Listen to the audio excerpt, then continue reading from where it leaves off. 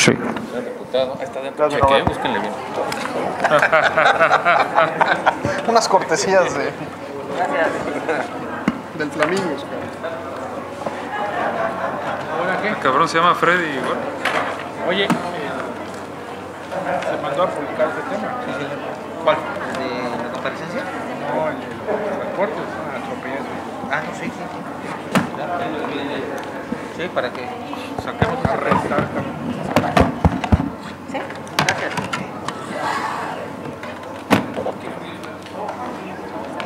Buenas tardes.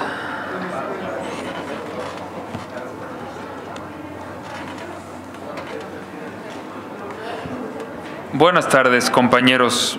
Vamos a dar inicio a esta reunión. En primer lugar, agradecerle a cada uno de ustedes la presencia, la puntualidad. Eh, como saben, tenemos diversos grupos de manifestantes que tuvimos que recepcionar y algunos diputados están en este momento con ellos.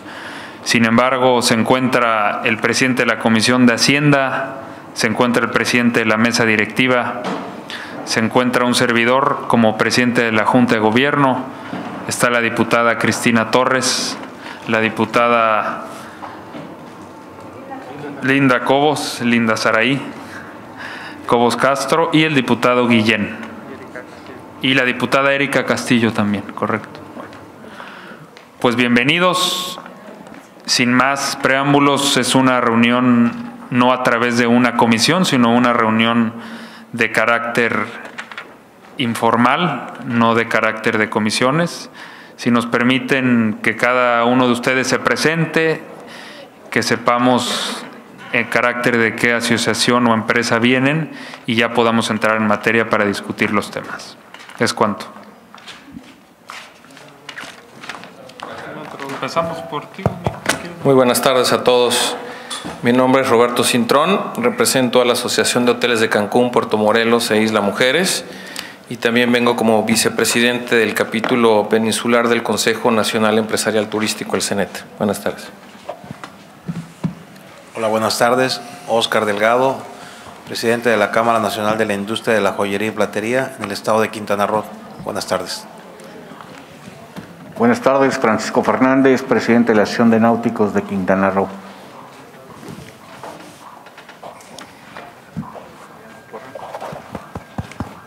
Gracias, buenas tardes. Mi nombre es Rocío Mena, soy presidente de la Asociación de Relaciones Públicas de la Riviera Maya. Gracias por estar aquí con nosotros. Soy el licenciado Juan Manuel Herrera Pinto, soy abogado y asesor de náuticos de Cancún, invitado también por el. CCE. Buenas tardes, la licenciada Miriam Escalante del CCE, el Consejo Coordinador Empresarial de la Mesa Directiva. Gracias. Hola, buenas tardes. Muchas gracias por recibirnos. Mi nombre es Perla Aguilar Lara y soy la presidenta de la Asociación Mexicana de Mujeres Empresarias, capítulo Cancún. Hola, buenas tardes. Araceli Sandoval, presidenta de Asociación de Mujeres Empresarias, AMEXME, capítulo Riviera Maya. Hola, buenas tardes. Claudia Pérez Salas, directora ejecutiva de la Asociación Mexicana de Hábitats para la Interacción y Protección de Mamíferos Marinos y miembro del. CCE. Buenas tardes, Eduardo Galaviz, eh, presidente del Observatorio Legislativo, Observatorio Quintana Roo y de la Asociación de Plazas Comerciales. Buenas tardes a todos. Primero que nada, muchas gracias por recibirnos, este, diputados y diputadas. Soy Iván Ferrat, presidente del Consejo Coordinador Empresarial del Caribe. Buenas tardes a todos. Mi nombre es Miriam Cortés, presidente ejecutivo de la Asociación de Clubes Vacacionales de Quintana Roo.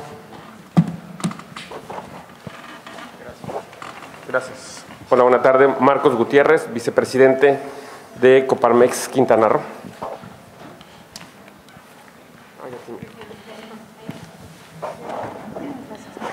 Elenina Amaro, presidente del Consejo Coordinador Empresarial de la Riviera Maya. Buenas tardes, gusto saludarlos. Miguel Ángel Lemus Mateos, ciudadano quintanarroense, presidente de la Asociación Mexicana de Profesionales Inmobiliarios del Estado Quintana Roo. ¿Qué tal? Buenas tardes. Salvador Quirós, representante del Consejo Coordinador de la Riviera Maya.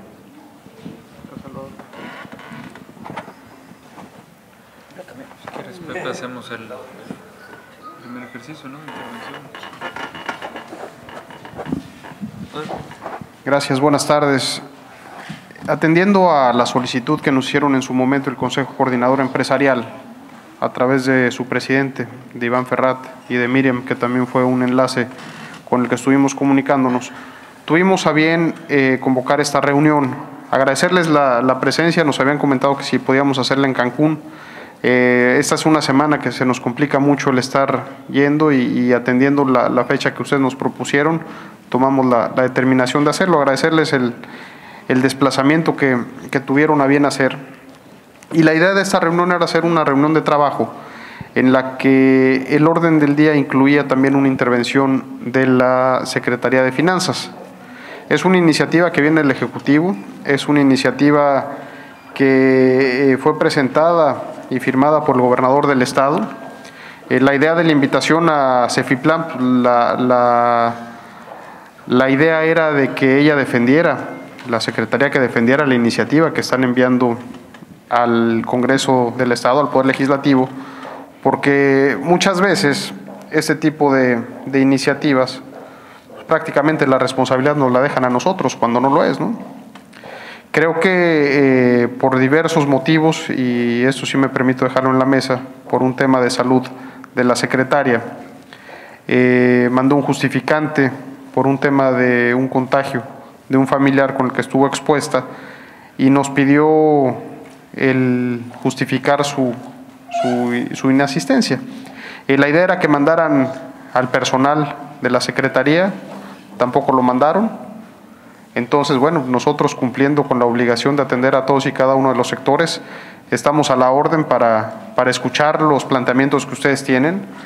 Eh, yo sí quiero dejar en la mesa que cualquier eh, situación que, se toque, de hecho lo vamos a estar, se va a estar transmitiendo la, presente reunión y grabar, grabar y grabándose para los efectos que, que todos los aquí presentes consideren, en la que estamos con la obligación prácticamente histórica de atender un presupuesto que viene a la baja, en el que nosotros hemos manifestado desde un principio que no estamos a favor de que se incrementen los impuestos para los ciudadanos. El tema en particular que me imagino que es lo del, cobro de los 10 dólares, estamos nosotros abiertos a escucharlos y como ustedes consideren, no sé si traen algún, algún mecanismo de intervenciones por parte de ustedes, quieren que levantemos una lista por cada uno de los que quieren intervenir y posterior a ello que los compañeros diputados que así lo dispongan que también puedan intervenir. Eh, hay otro grupo de diputados que no tardan en eh, sumarse a la reunión, concluyen la de ayer y se vienen para acá, en el que está eh, la coordinadora de Morena, está la coordinadora de, de Acción Nacional, está la coordinadora del de, el PT y de los diferentes partidos que también conforman esa legislatura. Así que adelante, por favor, licenciado Ferrat si quieren que hagamos una lista de intervenciones o ustedes, como ustedes decidan, estamos para servirles. Muchas gracias, este, Pepe. Nosotros lo dividimos en seis puntos, los temas que, que venimos a tocar, y de ahí se va a hacer las intervenciones. El primer punto pusimos lo del cobro al turista. El segundo punto, derecho a la venta de bebidas alcohólicas a domicilio.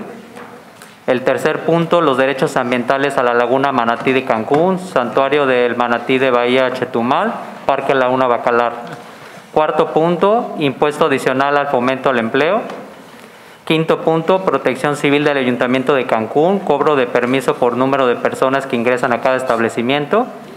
Y sexto punto, observaciones del desglose de la asignación del presupuesto 2021 y comparación al 2020. Va a empezar este, el presidente de la Asociación de Hoteles, Roberto Cintrón, con el punto número uno. Muchísimas gracias, Iván. Muy buenas tardes a todos. Señores diputados, eh, me sumo al agradecimiento de recibirnos aquí en base a, tan expedita solicitud. Mi respuesta agradezco en primer lugar a Gustavo Miranda, presidente de la Jocopo, y por supuesto al diputado José de la Peña de la Comisión de Hacienda por recibirnos aquí y por supuesto a todos los demás eh, diputados que aquí nos hacen favor de escucharnos. Les hice llegar un folder en el cual eh, me voy a permitir dar lectura del eh, el primer documento que es del CENET. Hay uno que está suelto y lo dejé a propósito hasta arriba suelto porque si se dan cuenta es de Expedia. Y la relevancia de esa carta de Expedia es que ahí comentan que solamente esa agencia trae el 18% de los turistas internacionales a México. Nada más esa agencia. Y en la parte de abajo vienen todas las marcas eh, o submarcas que engloban al grupo Expedia. Es el, después de la TUI, el conglomerado de viajes o el online es el más grande del planeta eh, hoy por hoy. Y el documento es del CENET, como ya les comenté, del Consejo Nacional Empresarial Turístico, y tenemos un capítulo eh, en, el sureste, que es Yucatán, eh, Quintana Roo, Campeche, Tabasco, Chiapas. Y eh, yo estoy como vicepresidente del, de este capítulo, lo preside el ingeniero José Chapur, que se encuentra en Cancún, no pudo acompañarnos el día de hoy, les mando un afectuoso saludo. Pero lo que voy a leer a continuación, quiero que sepan, por favor, de parte de todos los que viene. Fue en una asamblea que se platicó este tema y todas estas eh, que pertenecemos al CENET tomamos eh, nuestros puntos de vista y llegamos de una manera muy resumida a redactar este escrito. En primer lugar está la Canaero, que es la Cámara Nacional de Aeronáuticos, por supuesto quien aglutina todas las aerolíneas, tanto nacionales como internacionales, la Canirac Nacional, la Cámara Mexicana de la Industria de la Construcción, la Asociación de Desarrolladores Inmobiliarios, la Asociación de Cadenas Hoteleras, todos los hoteles de cadena del país están en esa asociación, la Asociación Mexicana de Hoteles, que están todas las asociaciones nacionales eh, perdón, eh, de, los estados o de los municipios en esta asociación. Abastecedores turísticos, AFET, por supuesto la Asociación de Hoteles Cancún, Puerto Morelos y las Mujeres, la COMIR, la AMDETUR, que es la Asociación Mexicana de Desarrollos eh, Turísticos, Desarrolladores Turísticos, Federación de Haciendas, IAPA, ASUR, el aeropuerto de Cancún, Grupo Aeroportuario del Pacífico, Grupo Expedia, OMA, RCI, Travelport y Assist Card. Y de la misma manera están los capítulos de Michoacán, Chihuahua, Puebla, Ciudad de México, Los Cabos, Colima, Puerto Vallarta y del sureste, que somos Yucatán, Campeche y Quintana Roo. Comentarios a la iniciativa para adicionar el artículo 74 bis a la Ley de Hacienda del Estado de Quintana Roo. La iniciativa para que las personas turistas extranjeros que ingresen al estado de Quintana Roo por cualquier vía paguen un aprovechamiento por el uso y aprovechamiento de bienes de dominio público y beneficio derivado del ejercicio de las funciones de derecho público del Estado de Quintana Roo, no se justifica en las condiciones actuales, al todavía estar viviendo una crisis sin precedentes, con una contracción de la actividad económica y turista en todo el mundo y en México en particular. La pandemia del COVID-19 ha causado una fuerte contracción en la llegada de turistas, principalmente del exterior, y una creciente competencia en el mercado turístico internacional. En estas condiciones, los destinos de sol y playa, con los que, compiten los destinos de Quintana Roo, ya están llevando a cabo o están por lanzar campañas eh, de, promoción para reposicionar sus atractivos turísticos, situación en la que estamos en desventaja, dado que México se encuentra sin campañas en los mercados emisores. Estamos hablando de las campañas institucionales por la desaparición del CPTM. El aprovechamiento mencionado se suba a una lista de impuestos, derechos, aprovechamientos y tarifas ya existentes que inciden en el costo de venir a México y en particular a Quintana Roo resultando competitividad, restando competitividad a nuestros destinos turísticos. Para venir a Quintana Roo por vía aérea, un turista tiene que pagar por DNR 558 pesos, por derechos de servicios migratorios 149 pesos, el TUA que es de 461.25 pesos para vuelos internacionales del aeropuerto de Cancún, En 2021 se realizará un ajuste incremental como todos los años. ¿Se acuerdan que se aplazó el año pasado? No la votaron a favor los diputados en México y se aplazó para que hubiera este incremento el próximo, o sea, este 2021. Solamente de estos impuestos es un total de 1.168.25 pesos. Cuando ustedes ven un vuelo Cancún, México, que sale a 900 pesos la ida, nada más están pagando los impuestos.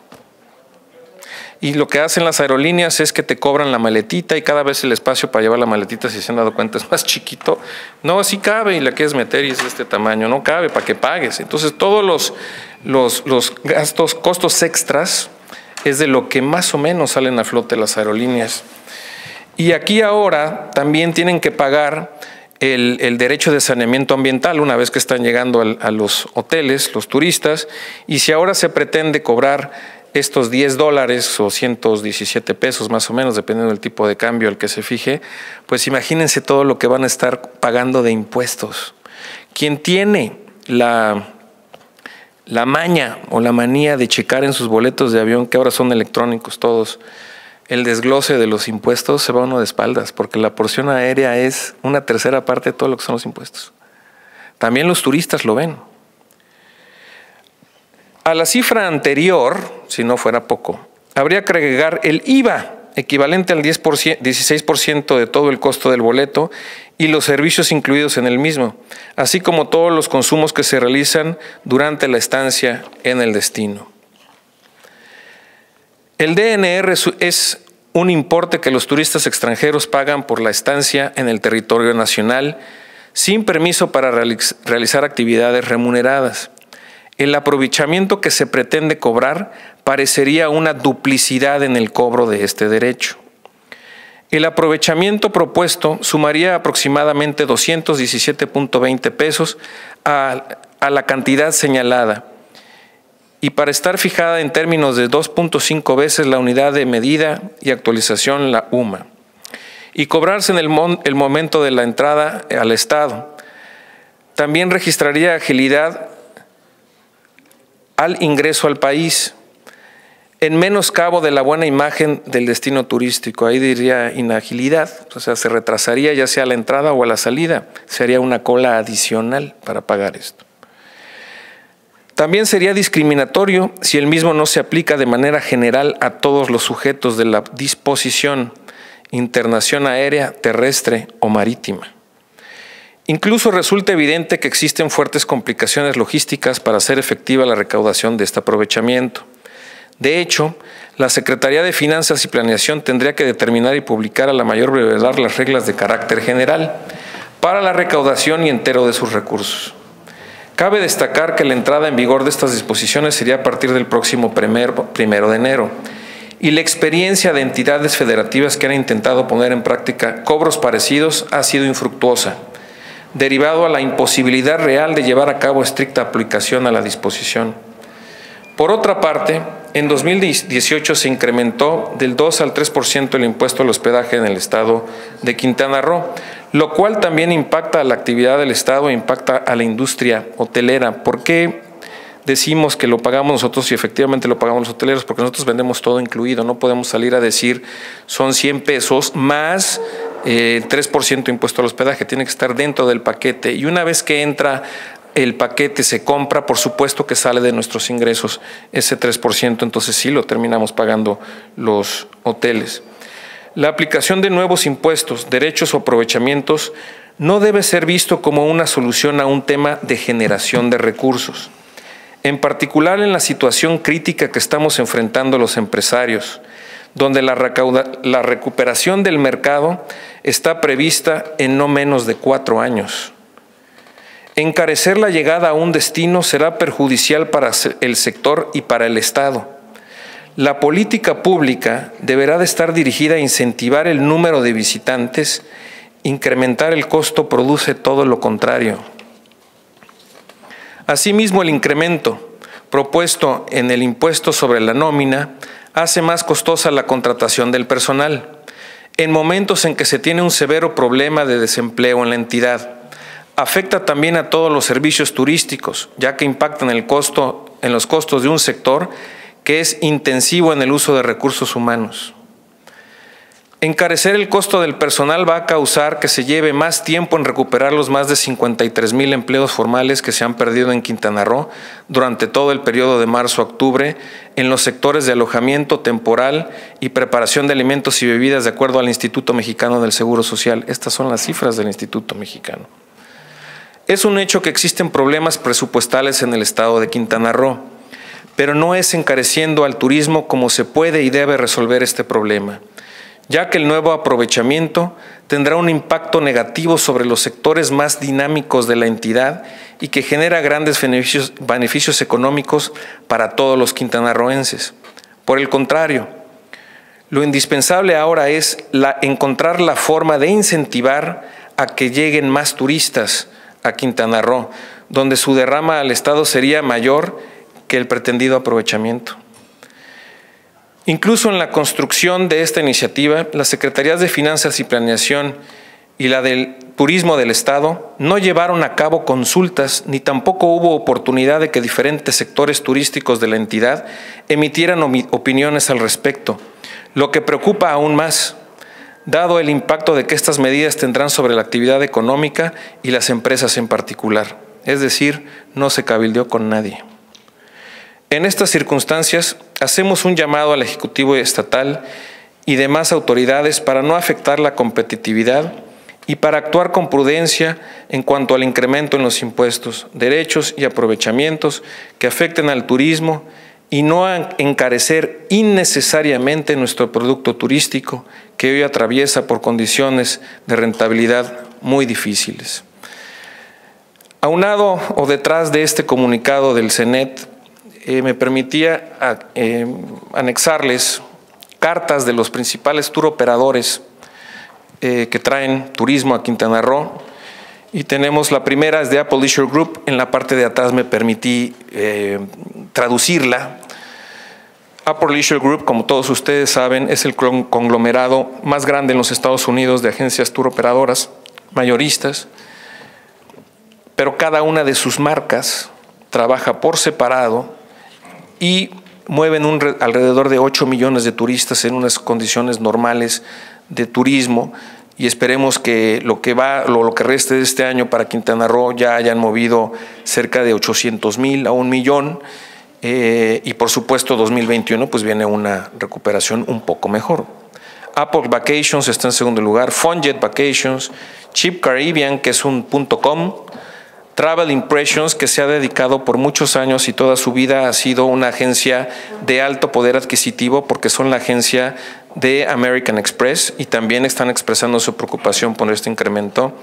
United Vacations, aerolínea. Southwest Vacations, aerolínea también. Tenemos también uno que se llama Destination Weddings, que este se dedica a las bodas y también está expresando cómo esto eh, afectaría. Bodas es uno de los que apenas está empezando a recuperarse con todas estas nuevas medidas de sanidad y los protocolos que se tienen. VIP Vacations, Hotel Beds Group, no sé si muchos de ustedes lo conozcan, pero Hotel Beds es eh, de TUI y la TUI es el conglomerado de viajes más grande del mundo.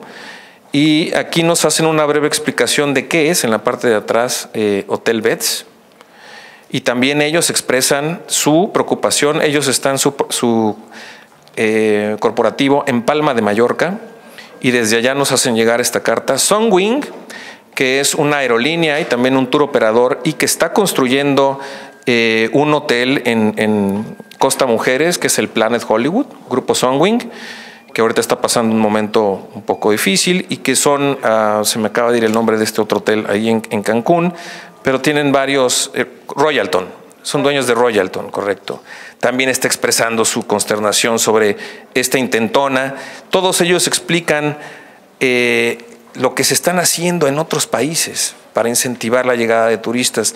Der Touristik es un conglomerado de agencias también alemán, eh, y también lo ponen, esto está en español, World to Meet, que es la contraparte de Hotel Beds, también en España, nos pone aquí sus comentarios.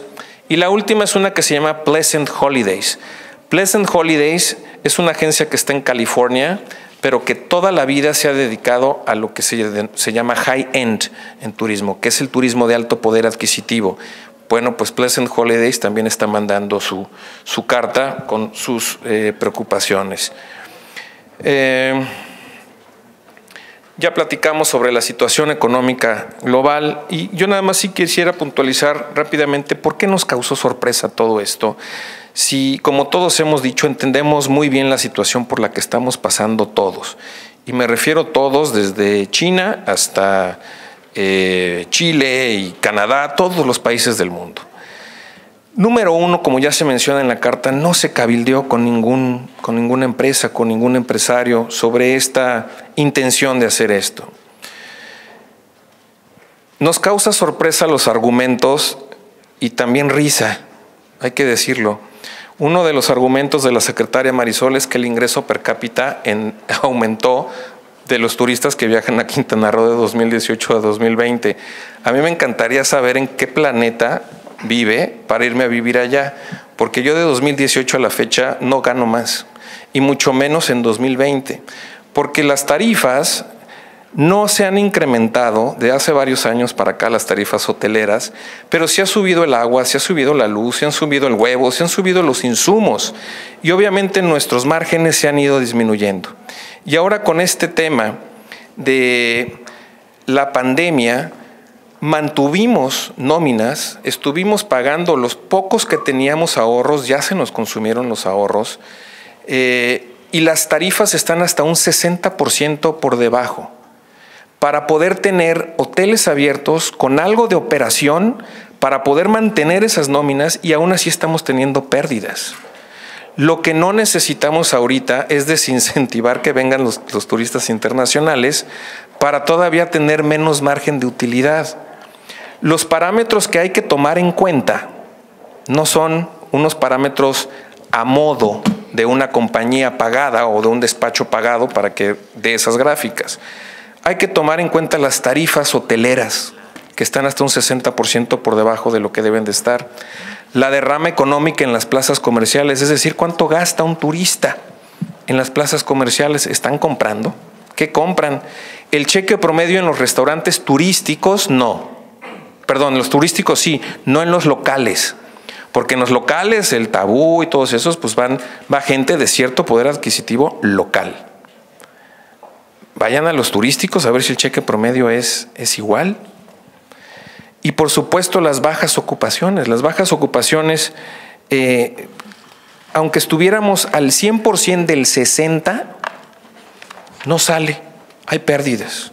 Por eso es que nos dan risa los argumentos y decimos, ¿de dónde los sacan? Otro de los argumentos es que ya se cobra en otros estados del país. Me gustaría saber en cuál. No se cobra en ningún otro estado del país. Decían que en Baja California Sur, en Baja California Sur lo aprobó el Congreso hace un par de años, pero no han podido dar eh, la forma de cómo cobrarlo en Baja California Sur, porque lo quieren cobrar o lo querían cobrar en el aeropuerto. Los hoteleros hicieron lo suyo para que no se cobren los hoteles y está en un limbo. Y lo que terminaron haciendo en Baja California Sur es poner con permiso del aeropuerto unos kioscos para que fuera de manera voluntaria. Y es como cuando pones ahí lo de la Cruz Roja que dice, deja tu dolarito de salida y ves ahí puras monedas y dos dólares. Así está, igualito, allá en Baja California. Y otro de los argumentos es que no se toma en cuenta o no se tomó en cuenta nunca los incentivos que otros países como que son nuestros principales competidores, la República Dominicana, Jamaica, las Antillas menores, todo lo que están haciendo para recuperar mercado. Por, la manera de un ejemplo muy rápido, hay un incentivo fiscal para, los, para toda la industria turística en República Dominicana para el no pago de ciertos impuestos hasta 2022. Pero además eso a los turistas les están dando las pruebas COVID gratis a la llegada. Y si alguien llega infectado, hay un seguro que tienen para todos los gastos médicos mayores durante su estancia. Y si tienen que prolongar su estancia en algún eh, hotel también estará pagada eh, con este seguro. Lo propio está haciendo también Jamaica.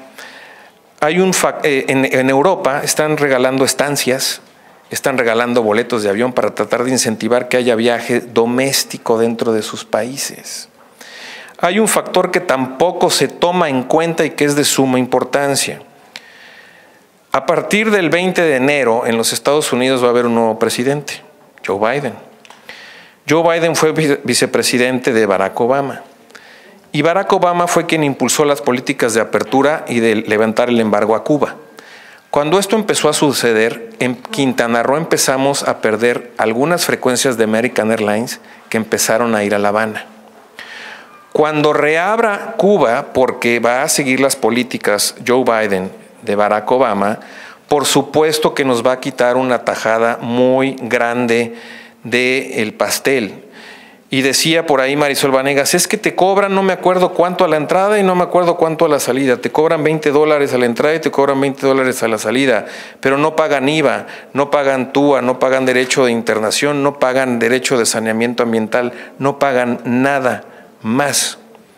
Y lo principal que recibe uno en Cuba, que además tiene una enorme industria eh, eh, hotelera en Cuba, hay muchos lugares inexplorados todavía, es la seguridad. En Cuba no pasa ni se desaparece nadie. Y en esa parte estamos faltando aquí. ¿Qué proponemos? No se trata nada más de venir y, decir que entendemos la situación y no proponer nada.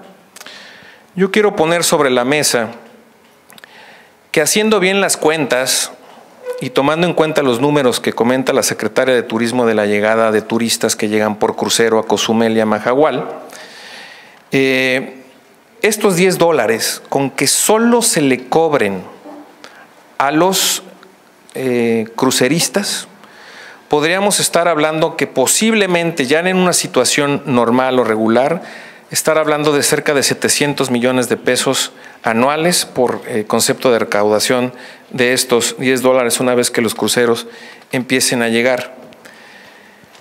Está visto y está probado que los destinos donde llegan los cruceros y donde se alojan los cruceros no crecen. Ahí está el caso de Majahual. Los primeros lugares donde hubo hotelería en el estado de Quintana Roo, o el primer lugar fue Cozumel, ahí está Cozumel con sus mismos cuartos de hace 25 años. ¿Por qué? Por la llegada de los cruceros. Y ahora que no hay cruceros por el tema de la pandemia, eh, ha habido un repunte de la hotelería en Cozumel, que ¿qué creen? Pagan impuestos sobre la nómina, pagan impuesto al hospedaje, pagan impuestos municipales. Y si de lo que se trata es de incentivar la riqueza dentro de los municipios y el Estado, pues tenemos que hacer fomentando que los empresarios locales lo puedan hacer. Y cobrándole estos 10 dólares a los cruceristas, pues a lo mejor se enojen algunos de ellos y digan, pues levo anclas y me voy. Pues órale, no es tan fácil y no hay que tenerle miedo porque Cozumel, la situación geográfica de Cozumel, la necesitan forzosamente los cruceristas. Y por lo que están pagando los 25 pesos para venir a dejarnos toda la basura, creo que no se vale tienen que empezar a cobrarle a los cruceristas y ahí habría, bajita la mano, 700 millones de pesos. La otra propuesta que tenemos y que habría que buscar los elementos para el cómo sí, es que ya se toca al turista hoy por hoy a la llegada a los hoteles con el cobro del derecho de saneamiento ambiental. Habría que buscar los elementos para que el gobierno del Estado pueda absorber este derecho de saneamiento ambiental. Por supuesto que nos gustaría que hubiera también un fideicomiso donde participáramos los organismos para que el, el espíritu con el que se hizo esta propuesta del 74 bis se cumpla, haya la vigilancia de que se cumpla ese propósito. Y ahí podríamos estar hablando también de alrededor de 500 millones de pesos. Con esos dos estamos sobrepasando inclusive por 200 millones de pesos la recaudación estimada que hace la secretaria Johanet en su propuesta. Nada más uno es reorientarlo y el otro es comenzarles a cruzar, a, cobrar, perdón. También hay que eh, decir que 2021 habría que dejarlo pasar No va a ser 2021 para nada similar a 2020. Ya abrimos el año con algo de ocupación, el año pasado también, pero para marzo estábamos en ceros. Ahorita no esperamos estar en marzo, mayo, junio, julio en ceros. Sí va a haber ocupación hotelera. En la medida de que siga avanzando la vacunación con una población de alrededor del 10 al 15% vacunada en los Estados Unidos y en Canadá, vamos a garantizar que vengan más los norteamericanos a esta zona. Es cosa de no desesperarse y dejar pasar que estos meses. No desesperarnos tampoco en abrir al 80% las ocupaciones, hay que mantenernos en semáforo amarillo al 60%. Lo que no queremos es regresar a un semáforo rojo en marzo. Y entonces nos arruinamos el año completo. Ya con estos números de ocupación comenzaría recaudación de impuesto al hospedaje. Comenzaría el pago del impuesto sobre la nómina porque ya habría recuperación de empleos. Y sobre todo, por favor, tomen en cuenta, y tenemos una lista que trae muy bien identificada Miriam, de lo único que nos dio tiempo o le dio tiempo a ella de, de, investigar, la cantidad de incentivos y estímulos que están en la oferta en los mercados internacionales. Cancún es el destino por excelencia, o Quintana, los destinos de Quintana Roo de América Latina, pero no es el único. Y todo el planeta tenemos lastimado el bolsillo. Ahorita el tema es, sí, los protocolos, pero también lo que más incentiva es el bolsillo. Claro ejemplo es que con este 60% de reducción de tarifas, tenemos hasta un 45% de ocupación en los hoteles. Muchísimas gracias. Gracias, Roberto.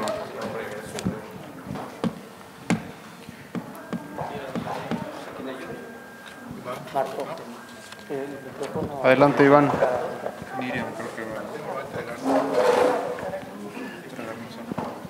Sobre el tema, Roberto, perdón por interrumpir eh, la siguiente intervención.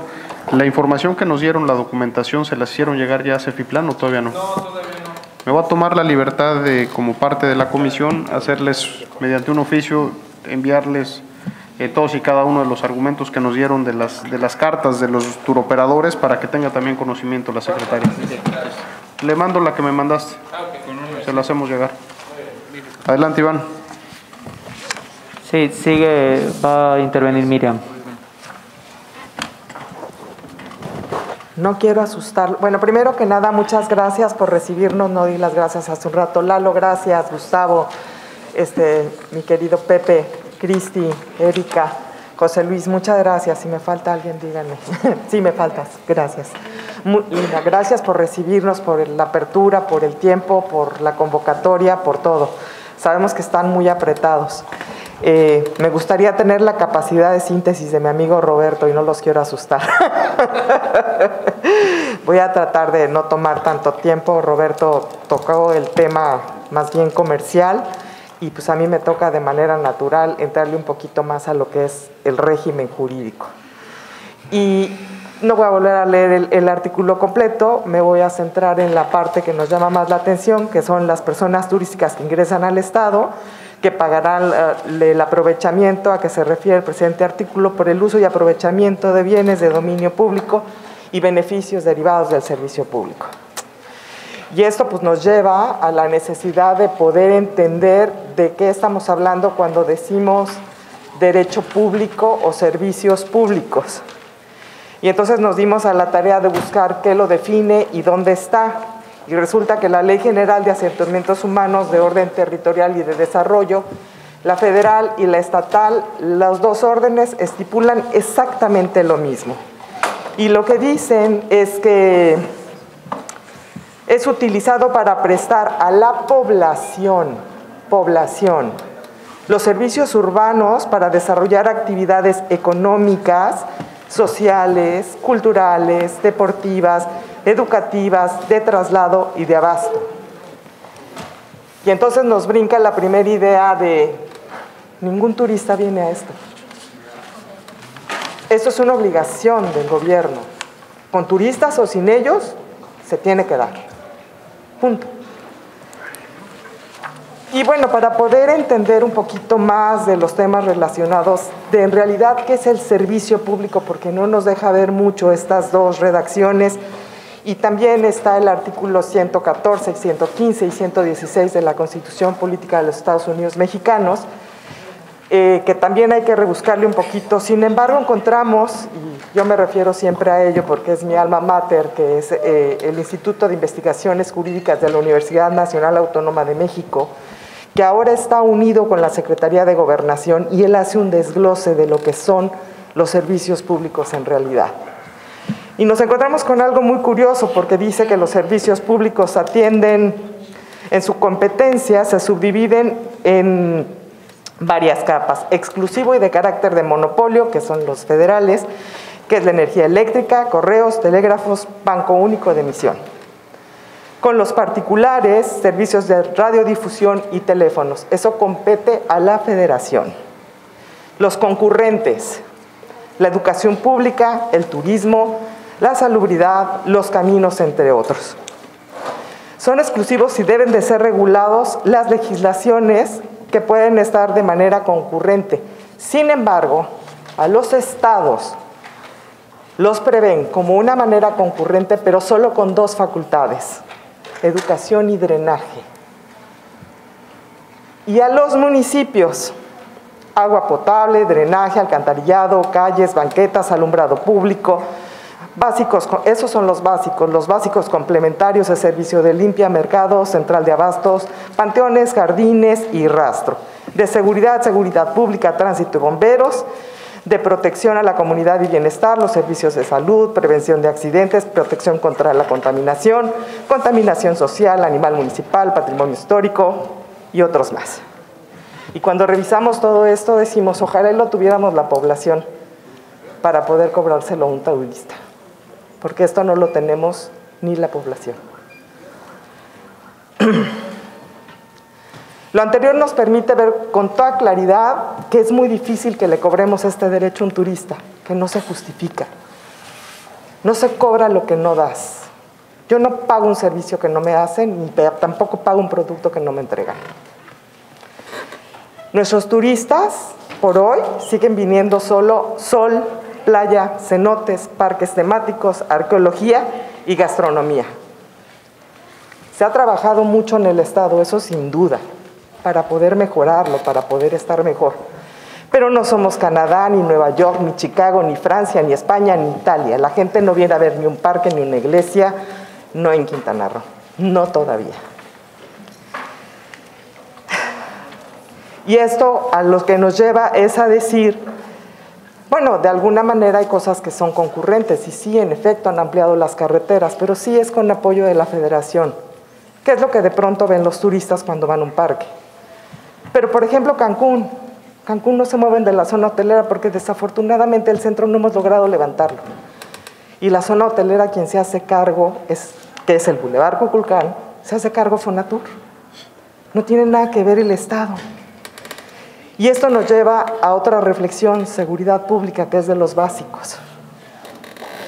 Se ha trabajado mucho, ¿sí? Y yo nada más quiero decir que sigue siendo deficiente, punto y aparte, nada más. No quiero entrar en polémica, pero sí quiero señalar lo que le pasa a un turista con seguridad pública. Si trae una placa de coche rentado, lo detienen nada más por eso y lo extorsionan además. La queja número uno que tenemos, por lo menos en la asociación que yo represento, es esa me están casando, etcétera, etcétera. Dos, si van en una camioneta de transporte, los bajan y los hacen que se suban a otro auto. Y se mueren de miedo porque no saben si van a ser secuestrados. Y, lo que, uno le dice, claro que no, no te va a pasar nada. Y lo que nos contestan es, es que eso dicen sus noticias. Y sí es cierto. Y bueno, ya que más decir con respecto a la última manifestación que tuvimos en plena zona hotelera por los feminicidios, que eso nunca nos había pasado y es algo muy vergonzoso, pero ya nos empezó a pasar. Entonces, pasarle la cuenta a un turista por un servicio público como es el de seguridad, la verdad es que creo que nos debería dar pena. La, la- la exposición de motivos de la iniciativa dice que es importante señalar que resulta necesario el mantenimiento y conservación de los bienes del dominio público para así cumplir con las necesidades de alto número de visitantes y a su vez estos contribuyan de igual manera en la proporción que hacen uso de los bienes propiedad del Estado como parte de la infraestructura turística. Y en nuestra experiencia los, los turistas pues en realidad no usan ningún servicio público y los servicios públicos que tenemos para los ciudadanos pues sí o sí nos los deben de dar. Esta resistencia a un nuevo cobro de turistas no es una indolencia, no es una falta de entendimiento y mucho menos una falta de respeto. De verdad, de verdad comprendemos la situación en la que está el gobierno porque estamos exactamente en la misma, o peor aún. Y aquí vale la pena detenernos un poquito porque yo sí les quiero decir que yo no conozco ninguna empresa que no haya presupuestado abajo del 30%. Hay empresas que presupuestaron hasta 60% abajo. No conozco a nadie que esté ganando lo mismo que ganábamos el año pasado. A nadie, incluyéndome yo. Y nadie nos forzó. Todos sabemos que tenemos que entrarle, porque si no, esto no va a salir adelante. Pero eso también va a pasar. Y es momento de que todos nos unamos. Finalmente les quiero decir y poner en contexto, porque de pronto, ahora finalmente lo que están diciendo es que es para recaudación. Pero si les cuento la historia de la recaudación que hacemos con cada turista, de veras sí da pena. Y no es una resistencia nada más, porque sí. Les platico, el derecho de saneamiento. El derecho, bueno, ya nos contó Roberto todos los impuestos que pagan los turistas y yo nada más voy a agregar en este sentido que el derecho de las aerolíneas, creemos que el único aeropuerto que se le cobra a todos los turistas, pero todos los aeropuertos están fatales y el de la Ciudad de México ya le entra agua por todos lados, está horrible. Y el que más vale la pena, en efecto, es el de Cancún. Sin embargo, por ejemplo, en la Terminal 3, pues no hay donde recibir un turista, no hay donde sentarte, no hay un techo, no hay nada. Es un relajo. Y parece mercado. Y admiro y respeto a, a, a Sur porque ha hecho un trabajo impresionante. Del impuesto al hospedaje después les platicaré porque creo que vale la pena hacer mención a eso. Y solo les quiero decir que a Roberto, en tu cuenta, Roberto, yo agregaría que de acuerdo a nuestros números, más o menos de impuesto al hospedaje, el grupo vacacional de tiempo compartido paga 660 pesos por periodo vacacional y por derecho ambiental un promedio de 365 pesos. Hoy, actualmente, hoy, pagan 2.194 pesos cada turista por cada periodo vacacional en este país. No están los 20 dólares, ¿eh? todavía no. Les quiero platicar lo tienen ahí en la tabla y ahí no me quiero detener mucho, pero hacemos un comparativo con qué pasa con el Caribe. Y solo les dejo el Caribe porque es con quien más competimos. Nosotros tenemos hoy cinco impuestos. Cinco impuestos que en la vida real no sabemos dónde está. El impuesto al el, el DNR que era para promoción en México se sumó, lo perdimos el impuesto al hospedaje, ahorita les cuento, el derecho de saneamiento, que tiene exactamente la misma justificación, pero del que puedo hablar más, es el de Benito Juárez, que se utilizó para pagar nóminas, no se utilizó para saneamiento. Nuestro derecho del impuesto, nuestro impuesto al hospedaje nació para eso, sin embargo, hoy no se utiliza en su totalidad para eso. En nuestra experiencia, cada, cada uno de los impuestos o contribuciones que se le carga a un turista y que sonaría bastante atractivo para utilizarlo, en la vida real no se utiliza para eso, se utiliza para un gasto corriente. Y lo que no se vale es que le sigamos cargando el gasto corriente a los turistas. Les dejo la tabla de lo que es el Caribe y ni un solo país, ni uno solo cobra más de, tres, más de dos impuestos. Hay uno que tiene tres, pero en realidad es el IVA. Es el IVA que a todo el país se lo cobran en 16% y a los hoteles y a los turisteros se los bajan al 10 como un incentivo. Nada más. Cuando nos dicen que esto no es salirse de mercado, pues díganme qué es, porque si estamos casi al triple en impuestos o derechos, yo pienso que sí nos estamos saliendo de mercado. Les quiero platicar muy rápido porque tuve la suerte y agradezco mucho que se estén eh, publicando las, las sesiones que tienen y estuve muy atenta a la sesión que tuvieron con la secretaria Johanet. Y me parece, lo sentí, a lo mejor yo estoy equivocada, que hay como una confusión entre qué es el impuesto al hospedaje y qué es este derecho. No, este es nuevo y no tiene nada que ver con el impuesto al hospedaje. Les platico del impuesto al hospedaje en este estado. Pues resulta que nació en 1996 y que tiene un tope del 5%. En 1997 lo cambiaron al 3% y como nació era el 80% para promoción del total recaudado por municipio y a cada municipio se le daba el 20%, sobre todo para arreglos turísticos, obra turística. Señala como recaudador a los hoteles, se establece que todo vaya a un fideicomiso irrevocable y que en su caso se necesitaría la firma de todos para revocarlo. Esto no pasó, ¿eh? Sí se hizo el fideicomiso, pero no firmamos todos para que lo revocaran. Ahí lo dejo nada más. Y estaba el comité técnico conformado con 51% de entidades del gobierno estatal y 49% de iniciativa privada. No dicho por mí, sino por todo el mundo, el mejor fideicomiso del país es el de Cabos.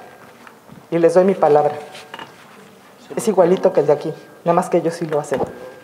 Nosotros lo dejamos de hacer. En el 97 se disminuyó del 5%, ya se estableció que lo que se tenía que pagar en ese momento era el 2%. Y el 5%, y agregan que el 5% del total recaudado es para gastos de administración, sin importar que el retenedor sea el hotelero y sin importar que si no lo paga es deudor solidario. Eso no pasa nada. En el 2005, los hoteles todo incluido, en lugar de enterar el 40% por decreto y mandato, tienen que pagar el 50% del voucher, independientemente si es hospedaje o no. 50% de lo que facturas lo tienes que pagar y dijimos sí. Sí porque se necesita promoción. Sí porque necesitamos un mejor municipio. A todo esto hemos dicho que sí, ¿eh? En el 2009 se aumentó del 2 al 3% y lo que dijeron es que era para obras impostergables. La obra impostergable se llaman playas. Nos pegó el huracán, se fueron las playas. Nos quedamos sin playas. Y dijimos, sí, sí necesitamos playas. Claro que necesitamos las playas. Y dijeron, se va un fideicomiso. Otra vez un fideicomiso. Ese fideicomiso no tiene un centavo ahorita y tiene miles de problemas. Miles de problemas. En el 2016 se establece la extinción del fideicomiso. Ese fideicomiso que es irrevocable y la, la, por decreto, bye. Se serán utilizados los recursos para las necesidades del Estado y se mantendrán los montos del 2016 al 2017. En el 2017 se cierran los fideicomisos y se señala que se tomará el 50% de lo recaudado para pagar la deuda que habían dejado los otros fideicomisos, porque en efecto había muchísima deuda, y lo demás para seguridad pública. Bingo. En el 2020, la seguridad pública, así como que qué avance ha tenido, pues la verdad es que no. Pero además, justo por la, la sesión me enteré que hay un préstamo para seguridad pública y que entonces este recurso ya no se necesita para eso. Bueno, eso me dice la lógica, de pronto yo estoy mal. ¿Y qué creen? Seguimos teniendo problemas financieros en el fondo para promoción y publicidad. De verdad que hemos sido, no nos hemos quedado quietos como sector empresarial. Quien está haciendo la promoción y la publicidad son las empresas, son los hoteles, no han parado. No nos hemos detenido y entendemos la difícil situación en la que se quedó este Estado y la que sigue sufriendo. Pero lo que yo quería o quiero más que nada es poner el contexto. Cada contribución que se pone para efectos de hacer un mejor Estado y mejores municipios, en nuestra experiencia no ocurre. En nuestra experiencia se va a gasto corriente. Y lo que creemos es que probablemente lo que necesitamos es ver cómo le hacemos con el gasto corriente para no acabarnos al turista, porque le estamos cobrando cosas que no le estamos dando, que no nos la damos ni a nosotros, a los ciudadanos. Y eso es muy vergonzoso. Les dejé una lista de los incentivos que están dando en otros países que no recibimos en este, como son las Bahamas, que da 200 dólares a los trabajadores del sector, Barbados, que puso 200 millones para inversión de pequeños hoteles, Costa Rica, una moratoria de cuatro meses para el pago del impuesto turístico, es decir, se los dejó a los empresarios para que se fondearan. A nosotros no solo no nos los dejaron, ahora nos van a poner 10 más, porque si lo que creen realmente es que lo van a pagar los turistas que creen, no es cierto. Nos dijeron, mantén la planta abierta, están abiertas. Y hay semanas buenas, pero hay semanas de 10% y Roberto no me va a dejar mentir. Pero tenemos que estar abiertos porque si no, no se va a reactivar esto. Y si no, no van a regresar los turistas que necesitamos que regresen. Pero no solo nos dejaron no fondearnos, ahora quieren que les cobremos 10 dólares más. Y si queremos que regresen más del 10% de ocupación, tenemos que reducir un poquito la tarifa y absorber esos 10 dólares o esos 20 dólares. No hay de otra. Ayer me decía Roberto, ¿qué pasaría si diéramos dinero a los turistas y si les diéramos algo más y que durante la enfermedad les diéramos, este, por ejemplo, 500 dólares, un bono al turista? Y le respondí, seríamos primer mundo. Revísenlo. El primer mundo le está dando incentivos a las empresas y a los turistas. Y nosotros lo que queremos darles es un pago extra. Si eso no nos saca de competitividad, pues la verdad es que no sé qué nos puede sacar de competitividad. Ahora tengo otra pregunta, bueno, tengo otra observación. Por ejemplo, el derecho de saneamiento y todos dicen que es para mejoramiento de las playas y etcétera, etcétera. Quisiera darles un dato duro, que ojalá y lo encuentre en medio de todo este relajo. porque también pagamos zona federal marítimo terrestre. Y de esa zona federal marítimo terrestre se queda el 80% el municipio, el 10% la federación de acuerdo a la última modificación de la ley y el 10% el Estado. En el año pasado recolectaron solo en, Benito Juárez 56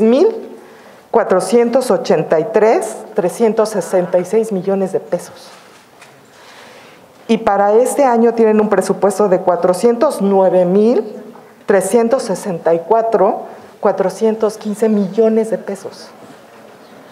Es decir, que no están tan mal las finanzas de aquel lado o no sabemos exactamente cómo ocurre.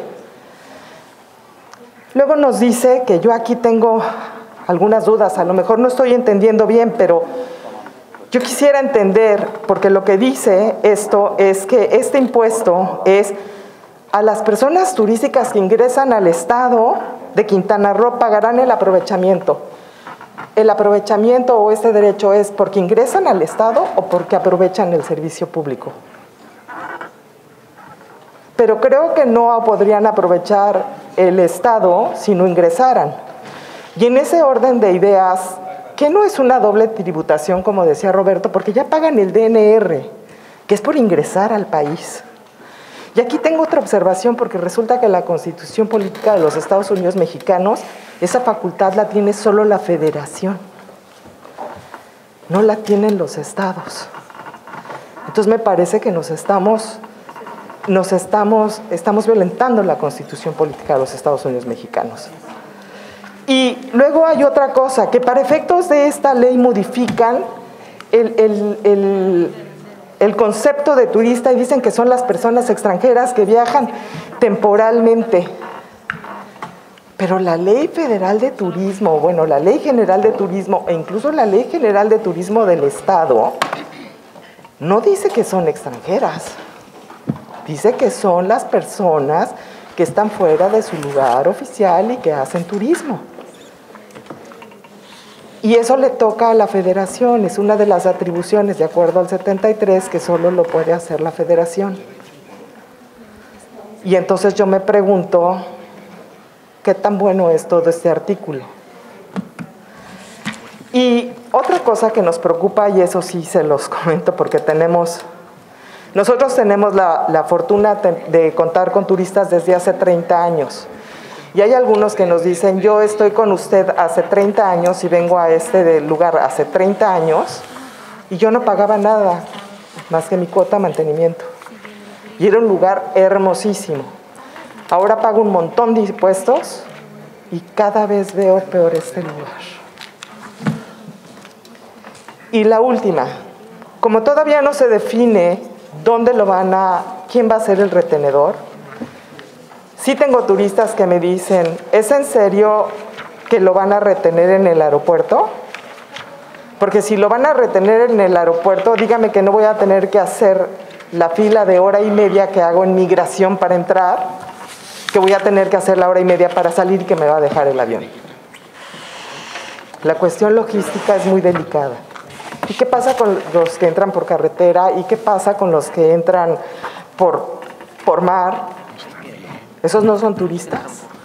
¿Qué pasa si yo o ustedes vamos a Tulum y nos quedamos una semana de vacaciones? ¿Dejamos de ser turistas porque somos nacionales? aplicamos el, el, el, sentido de turista a toda la ley de Hacienda y la aplicamos en el impuesto al hospedaje también? Creo que hay un error de técnica jurídica. Por mi parte es todo, tienen ahí los comparativos que no quise tomar tanto tiempo, pero es solo para que se den una idea que no estamos inventando. Todos esos números son reales y no nos da tiempo de más, pero si quieren que les traigamos más, con mucho gusto. Gracias. Gracias, Miriam. Sí, va a intervenir este Eduardo Galaviz con un punto del 1 y luego pasamos al 2. Gracias, buenas tardes y agradecemos esta eh, muestra, este mecanismo de lo que hemos estado buscando desde hace tiempo de tener un parlamento abierto que hemos estado platicando eh, desde el inicio de esta legislatura, así que es muy satisfactorio que podamos hacer estos ejercicios. Y sobre todo entendemos que en materia fiscal, que como bien decía el presidente de, la Comisión de Hacienda, pues es un tema que manda el Ejecutivo, pero que tienen ustedes la potestad de poder decidir hacia dónde va estas iniciativas. Bien, yo únicamente quisiera hacer unas eh, eh, observaciones adicionales a lo que ya se comentó. En primer lugar, el que quizás no está definido muy bien en, en la iniciativa que manda el Ejecutivo el concepto de aprovechamiento porque no es, eh, hemos estado hablando de impuesto, de derecho y es, está ubicado como aprovechamiento y no, no sabemos si ese sea efectivamente el lugar en donde deba de estar. Segundo, eh, la experiencia que se dice que tiene Baja California, eh, esto lo aprobó el Congreso de Baja California Sur en el 2016 y hasta el 2019 empezaron a darle alguna forma para que pudiera empezar a aplicarse en el 2020 y esto que platicó Roberto de que la manera en que se encontró fue empezar a tratar de cobrarlo en los aeropuertos, pues es, efectivamente eh, eh, el camino que se está tomando porque si es la recaudación, como dice la iniciativa, al momento de ingresar, esto tendría que ser en área de migración y para eso esa zona es federal y tendría que haber un convenio de colaboración entre el gobierno del estado para que se cobre en esa zona con una eh, eh, recaudación del, gobierno del estado. Entonces tendría que esa operatividad establecería eso en el aeropuerto. ¿Qué pasaría con los eh, turistas que ingresan por Belice? ¿Se les va exentar esto o no se les ya va a empezar a haber un flujo ya fuerte de turistas en esa zona. Creo que la solución que plantea Roberto de eh, aplicarlo en, en, los cruceros puede ser posible porque puede estar ahí incluso la PICRO que puede estar interviniendo, que es más eh, conducible este tema. Y el otro tema también importante es que el artículo 117, fracción cuarta, establece que potestad que lo- los estados no pueden grabar ni tránsito de personas ni de mercancías. Entonces no sabemos, ya tendría que definirse constitucionalmente si el ingresar ya es tránsito o no es tránsito o es cómo, cómo estaría. Entonces ese sería algunas observaciones adicionales a lo que ya eh, presentaron los compañeros que me antecedieron. Bien, a mí me toca eh, eh, plantear un segundo, una segunda inquietud que tenemos. eh, es sobre la iniciativa de reforma a la ley de compra-venta de bebidas alcohólicas que establece que se tiene una posibilidad de tener una licencia adicional para la distribución vía plataformas digitales. En ese sentido, eh, se plantea que eh, es una nueva forma que se está operando el comercio, etcétera, y reconocemos que sí, pero quizás el tema de la di- difusión de la venta de la bebida alcohólica es incrementar el potencial de acercamiento de algo que le está causando mucho daño a nuestra sociedad. Hay una gran estadística de eh, problemas derivados del alcohol, En Benito Juárez eh, solamente el 78% de las detenciones que hace la policía son por personas que eh, tienen algún problema derivado del consumo de alcohol. Entonces, ese es un problema que se agravaría eh, con esta poner a la disposición más eh, eh, pronta estas bebidas y también en el tema de eh, menores de edad, que quizás ahí no habría esa, ese control que existe actualmente en los lugares que tienen estas licencias para venta en envase cerrado en esos lugares. También esto ha sido estadísticamente, podemos mandarles la información, eh, un problema por el incremento de la violencia intrafamiliar que se ha dado sobre todo en este año, que ha habido una serie de eh, incrementos por eh, este problema también derivado del consumo de alcohol, que hemos tenido también este, un incremento en el número de personas que consumen eh, eh, bebidas alcohólicas. Entonces, sí creemos que no es necesario tener más amplitud, más eh, eh, posibilidad de tener a disposición de, la sociedad este tipo de, productos que eh, están causando un gran problema, puesto que a lo mejor será un ingreso para el, el- Estado, pero el egreso en lo que va a causar para poder cubrir esas deficiencias y esos problemas, pues va a ser mayor si seguimos fomentando esta situación. Y también económicamente quizás eh, provoque un problema a los que ya tienen unas licencias actualmente porque ya hay plataformas a nivel nacional que están moviéndose muy fuerte. Hay una, una plataforma que se llama Six to Go, en donde hace combos para poder vender a menor precio de lo que venden en los establecimientos. ¿Por qué? Porque son directamente del distribuidor eh, de, algún tipo de marcas y entonces va a causar un problema a los que ya tienen sus licencias que han estado eh, pagando eh, durante muchos años y va a te- tener ese, ese problema de competitividad.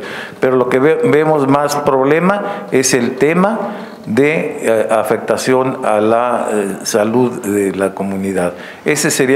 El- el- la petición de que revisaran de si es necesario tener este tipo de, de ma- mayores disponibilidades de, de este tipo de bebidas a la sociedad que ya trae un problema de graves problemas sociales eh, por este consumo. Esa sería eh, la petición que les queremos hacer para que en su revisión tomen en cuenta esta observación. Gracias. Adelante, gracias.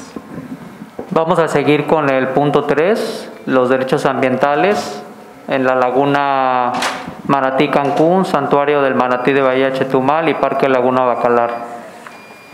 Para los que me conocen, saben que yo vengo del sector náutico. Estuve poco más de tres años eh, presidiendo la Asociación de Náuticos de Quintana Roo. Hoy en día nos acompaña el nuevo presidente Francisco Fernández, que está aquí con nosotros.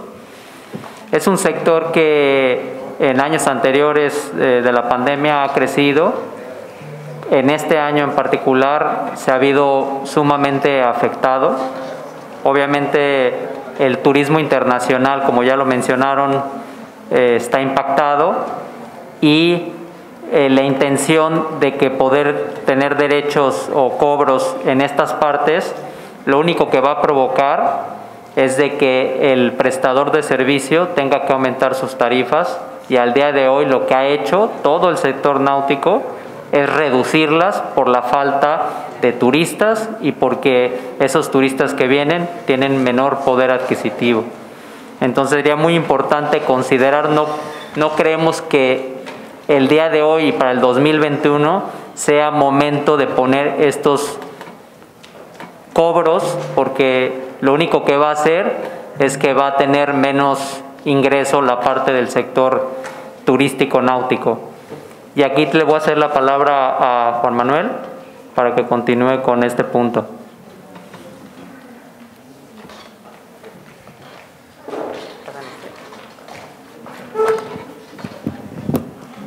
Gracias. Gracias, buenas tardes. Continuando con este punto, como comentaba el presidente del Consejo Coordinador Empresarial, eh, esto desincen- desincentivaría eh, la afluencia a este tipo de, eh, de lugares turísticos.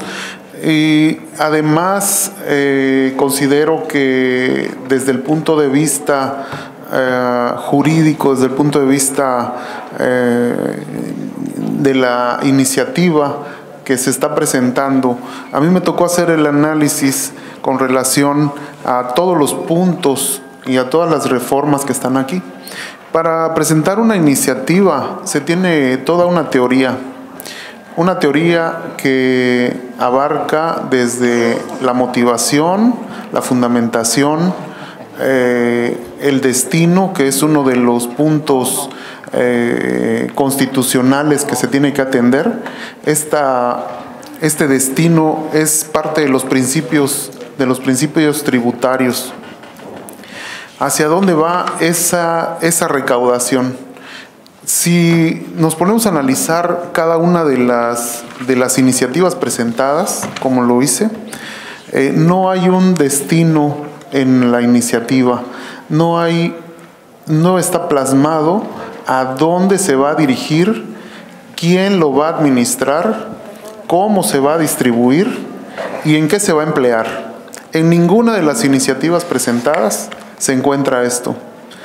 Todas dicen es para conservación, porque hay especies muy bonitas y porque hay especies únicas y porque hay colores muy bonitos de las lagunas y eso, eso no es una motivación suficiente, señores diputados. Y ahí sí yo les pido que analicen la teoría de la presentación de iniciativas al Congreso para que los hagan cumplir. Si el Ejecutivo tiene una iniciativa para presentar, tiene que justificar todos esos motivos. Es importante porque no es cosa menor. Esta es una imposición y los que terminan pagando son los ciudadanos. Por eso se tiene que atender y se tiene que cumplir con estas formalidades. Eso yo se los quiero dejar en la mesa para que lo analicen. Por otro lado, quiero tocar, si me permiten, brevemente, una comparación que hice eh, analizando un poco el tema de eh, el, el motivo que expone el Ejecutivo con relación al, al impuesto al turismo. Eh, tuve la oportunidad de revisar algunos estudios y algunos análisis, por ejemplo, de la Universidad de Valencia, en donde señala este estudio y hace una comparación con la Comunidad Económica Europea y, y- España. En este estudio se analiza cómo se hacen llegar recursos a estas comunidades que tienen que proteger el medio ambiente, que tienen una afluencia eh, de turismo importante y que tienen un desgaste en sus servicios públicos. En ese caso, pude observar, y se los pongo en la mesa, que hay varios tipos de imposiciones que se utilizan para hacerse llegar estos recursos. Y curiosamente, uno de los, uno de los, de los, de los temas de los que se, de los que se valen la- los, los, este, los países europeos es precisamente del impuesto al hospedaje. Esto me hizo revisar el- la exposición de motivos del 2017 de la ley del impuesto al hospedaje y dice precisamente lo siguiente, los ingresos provenientes de los impuestos del impuesto al hospedaje sin duda representan una significativa fuente para el ejercicio de actividad estatal y el desahogo de las funciones públicas con más y mejores oportunidades para Quintana Roo. Ese es el motivo que expuso el Ejecutivo al eh, proponer la iniciativa para este impuesto al hospedaje. Si hacemos la comparación con el nuevo impuesto, o con el supuesto aprovechamiento, dice que para proporcionar cobertura suficiente de los servicios públicos, dentro de la función pública está proporcionar los servicios públicos. Entonces estamos haciendo una doble imposición con respecto a esto. Estamos, para subsanar los servicios públicos y la función pública, estamos cobrando impuestos a los, a los- están proponiendo el cobro del impuesto al hospedaje, que ya se tiene, y este nuevo, este nuevo, esta nueva imposición. Eh, esto también me llevó a analizar un poco, eh, además de que la falta de estructura en la presentación de la iniciativa, por falta de motivación, que no hay un destino, que se contravienen estos principios tributarios, también está eh, un, un- este, un pequeño problema. Esta, eh, esta estructura en la que no se tocan eh, ni se dice exactamente a dónde va, cómo se distribuye, cuánto se recauda y cuánto se va a destinar, es una falta, ah, es una falta de, este, de cumplimiento a la, norma legis- a la norma constitucional. La norma constitucional en el artículo 26 de la Constitución nos remite, esto nos lleva a otro, a otro punto, eh, a un programa, eh, a un programa nacional de desarrollo. Y vemos claramente también que el, el Plan Nacional de Desarrollo que se ordena en el 26 de la Constitución eh, se contrapone a lo que dice el Plan Estatal de Desarrollo. Más bien, el Plan Nacional, Estatal de Desarrollo se está contraponiendo a lo que dice el Plan Nacional de Desarrollo. Y el Plan Nacional de Desarrollo, dentro de una de sus directrices, dice no imposición de impuestos, no aumento a los impuestos. Y estos claramente pues son impuestos. Entonces, si vamos a tener este, este tipo de imposiciones estatales, estamos contraviniendo el Plan Nacional de Desarrollo, que es el que prevalece. Por lo tanto, podría ser completamente inconstitucional. ¿Mm? Este, con relación a, a esta técnica legislativa de la, de la eh, exposición de motivos que debe contener eh, las propuestas, yo les pido que analicen esa parte porque es importante que dentro del mismo cuerpo de la iniciativa se plasmen todos estos puntos. No podemos aceptar iniciativas de reformas que solo digan que porque hay, eh, aquí tengo un ejemplo, por ejemplo con relación al- a los parques nacionales. A ver. Este de parques nacionales.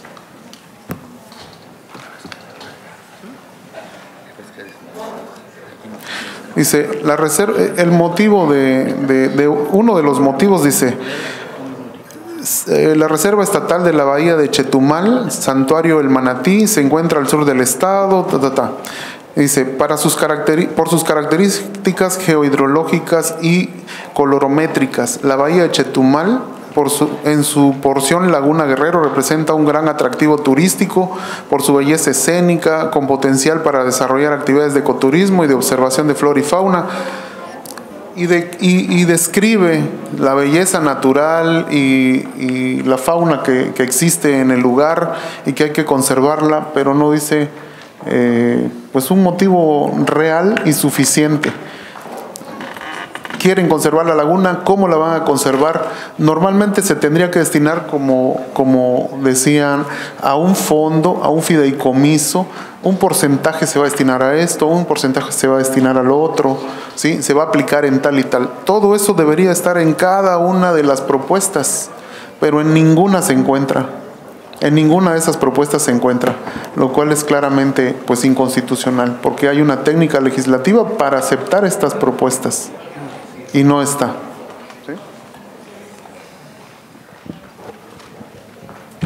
Adelante, Iván.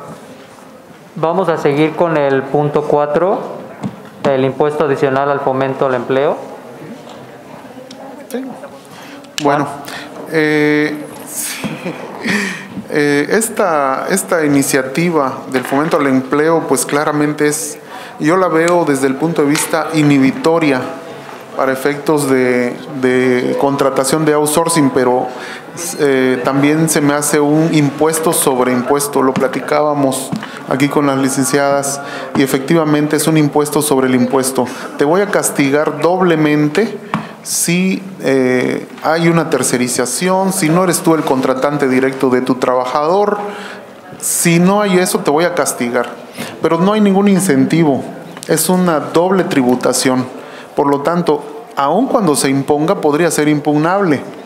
¿Por qué? Porque se está imponiendo un impuesto sobre otro impuesto. Esta parte es totalmente inconstitucional y totalmente debatible. ¿Gustan agregar algo? Está clarísimo. ¿Sí? Sabemos que las políticas federales son combatir todo lo que es el outsourcing, todo lo que es la tercerización, pero imponer un impuesto sobre un impuesto no es la medida, no es la vía. Por lo tanto, no creemos que sea viable esto. Al contrario, debemos de tener incentivos, no castigos para esto. ¿Sí? Sí. recorte de... Sí, esto, tras que está siendo difícil el volver a reactivar la economía, el volver a reactivar los trabajos, el, la contratación de gente, esto vendría nuevamente a frenarlo totalmente. ¿Ah? Iván, sí. Vamos a pasar al siguiente punto, el de protección civil del Ayuntamiento de Cancún, cobro de permiso por número de personas que ingresan a cada establecimiento.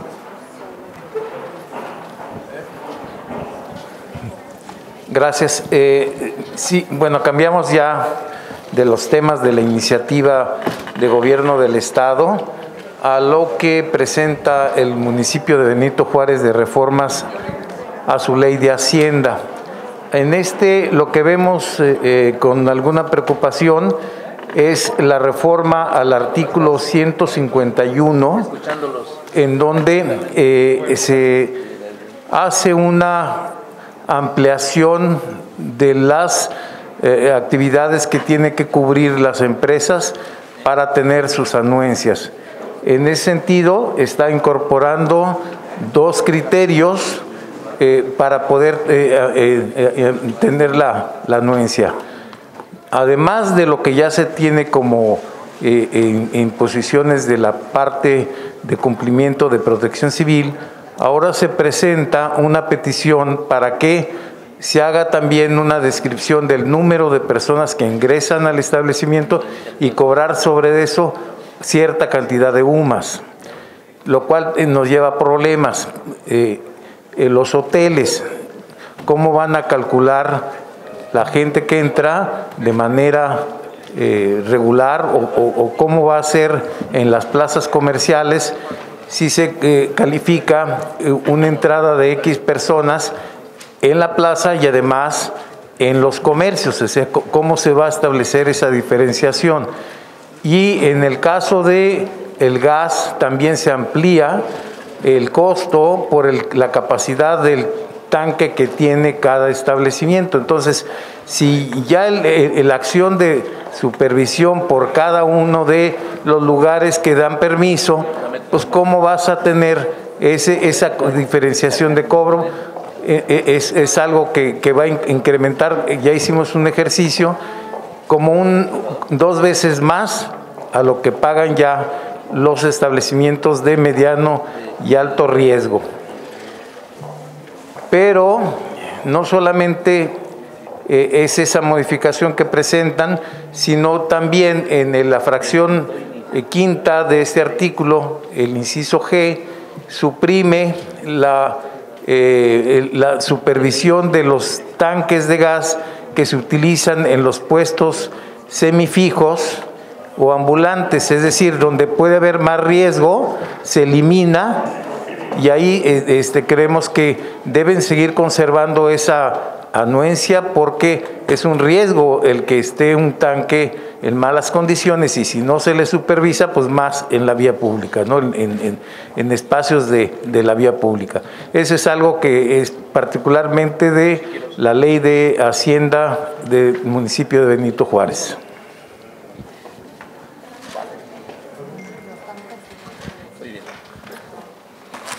Pasamos al punto 6, observaciones del desglose de la asignación del presupuesto 2021. Va a intervenir Miguel Lemus. Gracias. Solo un comentario para ir diferenciando el tema del paquete fiscal estatal y ya luego precisar el tema de la ley de ingresos municipal. Nada más para tener el orden. Adelante, Miguel. Bueno, señores diputados, este, gracias por, por estar aquí presentes. A todos ustedes les es muy claro que nuestra presencia aquí obedece a que como organismos empresariales, todos aquí presentes, unidos por sus cámaras, por sus asociaciones, por sus consejos, y unidos más que nada por la crisis en la que estamos inmersos en este momento, que es la pandemia, nos está obligando a decir no a los nuevos impuestos. No podemos pagar nuevos y más impuestos.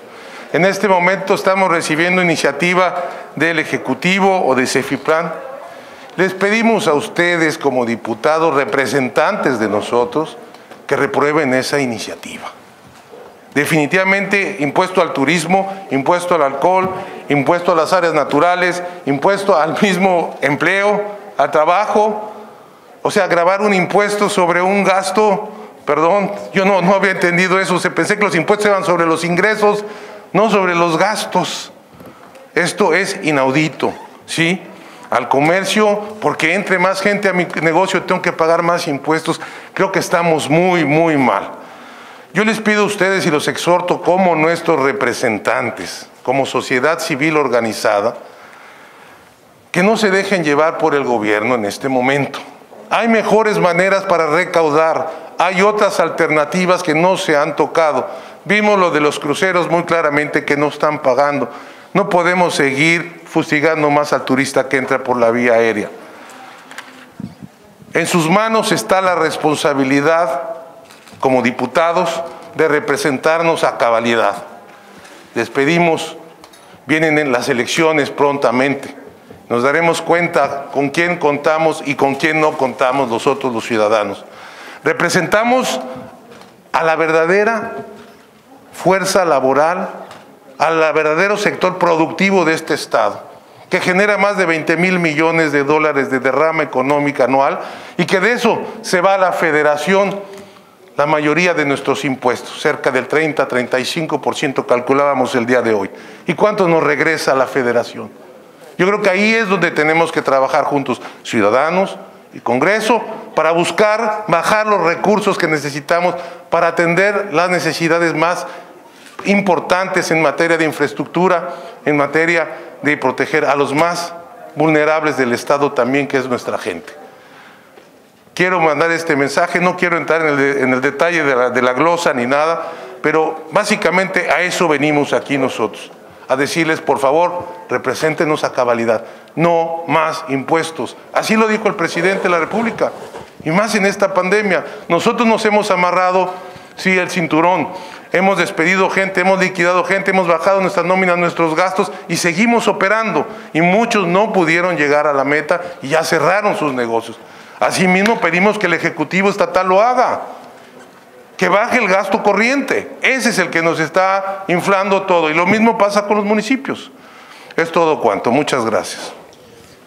Nada más para eh, complementar lo que dice Miguel Ángel. Eh, nosotros eh, eh, entendemos que esta situación de, que nos ha ocasionado la pandemia va a seguir todavía durante el año 2021. Eh, eh, teníamos la expectativa, la esperanza de que quizás se pudiera contener, pero estamos viendo en Europa, en otros lugares, que está una nueva ola que no sabemos hasta dónde va a llegar.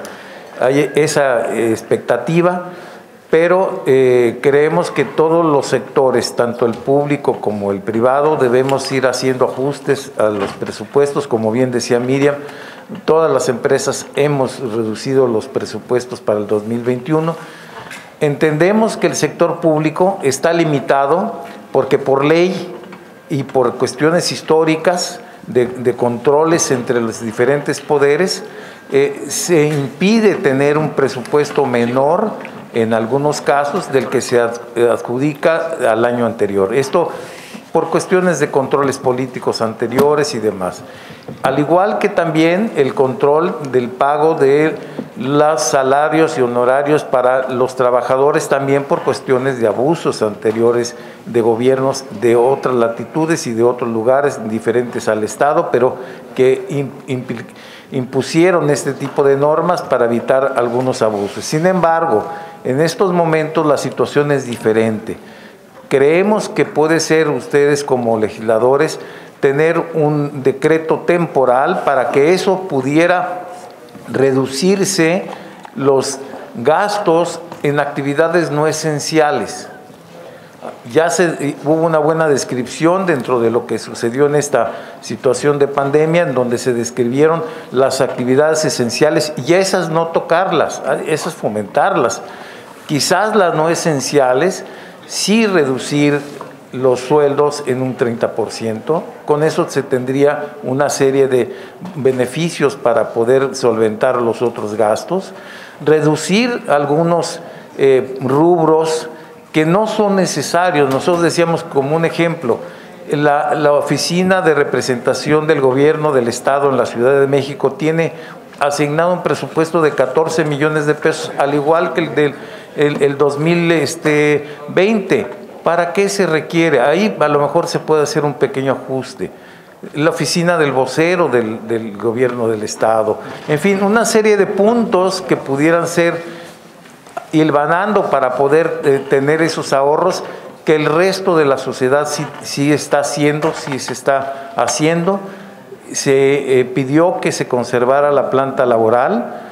Las empresas turísticas hicieron un esfuerzo enorme para no correr a muchos de sus empleados, reducir el, el, el, el salario al 50% y que siguen permaneciendo en ese sentido. Entonces, creemos que es una situación en la cual ustedes como eh, eh, poder eh, en el Estado que pueda hacer una legislación temporal, porque no creemos que así se vaya a permanecer eh, toda la vida, pero sí en estas condiciones, sí es necesario que todos amarremos el cinturón para poder seguir afrontando este vendaval que nos ha venido encima a todo el mundo. Muchas gracias. Ya con esto cerramos los puntos que, trajimos y los cuales este, quisiéramos oír de parte de ustedes eh, sus comentarios. Adelante, compañeros diputados. ¿Algún compañero que quisiera hacer uso de la voz? Diputado Eduardo Martínez. ¿Alguien más para anotarlo? Empezamos con Eduardo. Gracias, muy buenas tardes, muy bienvenidos, compañeras y compañeros, representantes de las cámaras empresariales. Pues este formato efectivamente es para escuchar las propuestas que han traído y eh, escuchar también cuál es la visión o la información que tienen del paquete fiscal 2021 del gobierno del estado. Y eh, pues es natural yo lo entiendo así eh, cada quien desde su posición, así finalmente se van construyendo los gobiernos, los estados, la sociedad, y cada quien defiende su, su postura. No en vano, hace algunos días o semanas, el presidente de la República puso como un lastimoso ejemplo al empresariado, alguna parte del empresariado, sobre todo hotelero, de Quintana Roo como los que más utilizan este esquema de outsourcing para evadir impuestos. Y lo entiendo de esa manera porque uno lo que busca al final del día es cómo pagar menos impuestos, porque efectivamente la carga tributaria es en ocasiones muy alta, muy excesiva. Nada más que estos impuestos que parte de los hoteleros evitan pagar son los que se generan con sus trabajadores, su mano de obra, lo que le da la grandeza a toda la actividad turística del Estado. Y el planteamiento central de este paquete fiscal tiene que ver con los extranjeros, los que vienen a disfrutar los paraísos naturales. Yo platicaba con algunos compañeros y les decía que yo creo que el problema en el Estado es que nos hemos tardado en ir gradualmente, gradualmente, eh, vender, si se vale la expresión, el producto turístico que es Quintana Roo a su verdadero valor, digámoslo así, económico. Por algo vienen los turistas. Por algo, año con año, se van rompiendo los récords de visitantes, porque tiene evidentemente servicios de calidad turística pocas veces visto en otros estados o en otros países de América o de Europa, porque tiene unas bellezas naturales incomparables con otros destinos turísticos. Es decir, nuestro destino turístico, yo así lo veo, vale mucho y creo que debemos gradualmente ese valor eh, que el turista lo pague para que podamos cuidar nuestro destino turístico. Yo no creo que un turista diga no voy a Quintana Roo porque me subieron estos dólares. Y yo les voy a pedir una cosa, yo los escuché atentamente a todos. Creo que vale la pena también que civilizadamente, ordenadamente y con mucha tolerancia nos escuchemos. Porque miren, han entregado este documento, pero veo que hay algunas imperfecciones o de plano algunas cifras que no son reales. Entonces, pues nosotros, cuando nos dijeron, Cifriplan nos dice, oigan, este impuesto que se está poniendo se cobra en Baja California, ¿no? Escucho a don Roberto Citrón y dice, no es cierto, eso es una mentira. Pero escucho a mi tocayo Galaviz y dice, no, no, sí es cierto, se está empezando a cobrar. Entonces hay información, me parece discordante, porque yo sí me sentí timado, timado, sí. Dije que se, dije que se eh, aprobó en el Congreso en el 2016. Lo mismo dije yo que se aprobó hace dos años. Y, que no se pudo, ya está. no se pudo porque no tienen los mecanismos. Ya está el Y que se está empezando a cobrar a partir de 2019. No, no se cobra. Y dije que cobrarlo y pusieron unos. Que pusieron los kioscos, a eso me referí yo también. Ok. Les pido, les pido perdón, compañeros diputados y compañeros de los eh, grupos empresariales, permitirle al diputado terminar eh, su intervención y posterior a ello, si quieren, entramos a, Entonces, a una dinámica de Gracias, respuestas. gracias, Adelante, diputado diputado. presidente. En 2016 se aprobó y en 2019 se empezó a cobrar a través de los aeropuertos y de la Administración Portuaria Integral. Miren, segundo, se plantea inicialmente que este impuesto o este derecho no se va a cobrar en los cruceros. No es cierto. Es internamiento al, al- al Estado, es extranjero. Si entras por barco, pues lo pagarás por barco. Si entras en el aeropuerto, lo harás por el aeropuerto. Si entras por carretera, se hará por carretera. ¿Qué es lo que ha planteado Hacienda? Generar los mecanismos de cobro. Y como aquí mismo se ha dicho, como pasó en Baja California, se aprueba y se establecen los mecanismos de cobro. Si al final Hacienda tiene la capacidad de cobrar al 100%, al 50, al 25 o al 30, pues es algo que Hacienda tendrá que rendir cuentas ante el Congreso si no tuvo la capacidad de cobrar. Y les pongo el ejemplo. El año pasado se aprobó derecho de saneamiento, por ejemplo, en el municipio de Bacalar. ¿Y saben cuánto cobró? Cero pesos. Porque no tuvo la capacidad y porque se le vino la pandemia.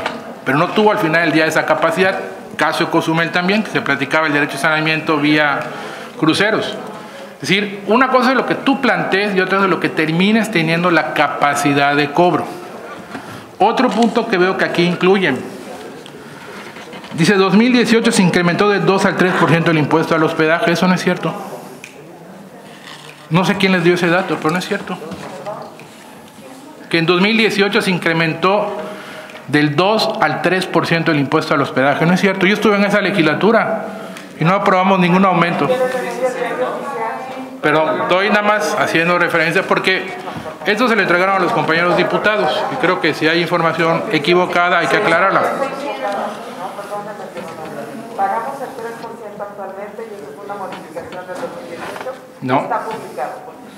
Yo les digo nada más. No es la fecha, sino que se incrementa. No, no, nosotros no lo incrementamos. Este, este gobierno no ha incrementado el impuesto al hospedaje, es lo que yo quiero dejar claro. O sea, es importante dejarlo claro, porque además les quiero comentar algo y ustedes lo saben.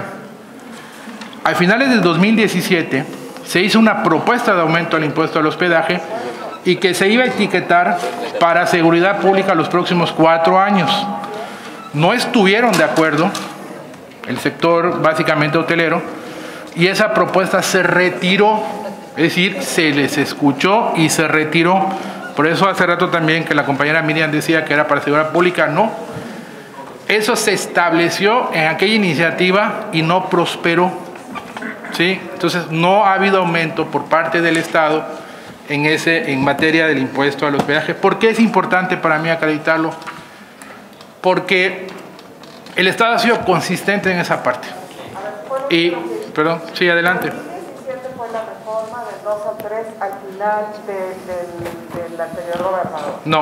No se implementó. Ahí fue donde dijeron, se eliminan todos los fideicomisos. Pero como los fideicomisos tenían un montón de adeudos, Es correcto. no se, pudo, no se pudieron extinguir. Y fue hasta el siguiente año. Y el siguiente año hicieron el extinguir. Pero hoy se paga el 3% del impuesto al hospedaje. Y lo que a nosotros se nos dijo, eso fue lo que se nos dijo, es que iba para seguridad pública cuando teníamos un problemón de seguridad pública. Sea, siempre hay una razón. A ver, nada más me permites, Miriam. A ver, yo no tengo por qué mentirles, yo fui diputado en esa legislatura. Y eso nunca se aprobó. A lo mejor hay una confusión. Le explico la confusión. El impuesto del 3% ya viene, me parece que desde 2013, si mal no Aquí me está, equivoco. en- aquí está, Permítame, 2017 des- ahorita lo vemos, desde 2013. Lo que se hizo en 2017 fue la ley del impuesto al hospedaje, pero el 3% ya se venía desde años atrás. Es decir, este gobierno no ha aumentado el impuesto sobre, el hospedaje. No lo ha aumentado, Roberto, sí. No lo ha aumentado. ¿Puedo hacer una precisión, señor claro. diputado? Eh, sí, efectivamente. Quizás aquí lo que sucede es... eh, Digo, para hablar con verdades en ese aspecto. Aquí a lo mejor haya una imprecisión en la forma en cómo se explica aquí, porque originalmente cuando pasa del 2 al 3 iba a ser por un año. Y como decía mi papá, no hay nada más permanente que lo temporal. Y se les pasó el tiempo para que quedara oficializado al 3%. Y eso que queda oficializado en el, al 3% no fue ninguna aprobación de este gobierno. Fue aprobado, pero venía de atrás. Nada más para ser claros en ese aspecto. Es que aquí lo mencionan claramente, que se incrementó del 2 al Ahí, 3%. digamos que ahí se oficializó en esas fechas, porque sí está en un decreto.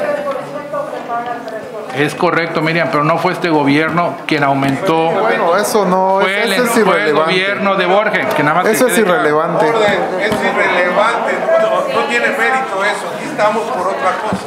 A ver, No, yo podemos- no tenían en ese entonces una pandemia como Me la gustaría. vuelvo a decir lo mismo, yo nada más estoy dando los mismos datos. Ok. Y si me permiten, para concluir, porque yo fui muy respetuoso cuando todos hablaron, aunque habían datos imprecisos.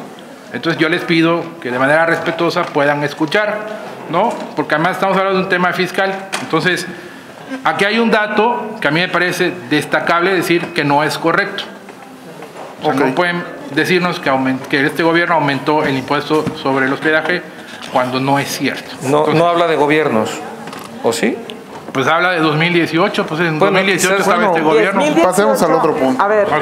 pu- ¿puedo entrar Vamos otra a- vez en Segundo. materia? Porque a Perdón, lo mejor adelante. probablemente lo que no fue muy claro es, dije, y solo para entrar en contexto de lo que ha ocurrido con cada una de las contribuciones que se le han venido cobrando a los turistas y dónde están.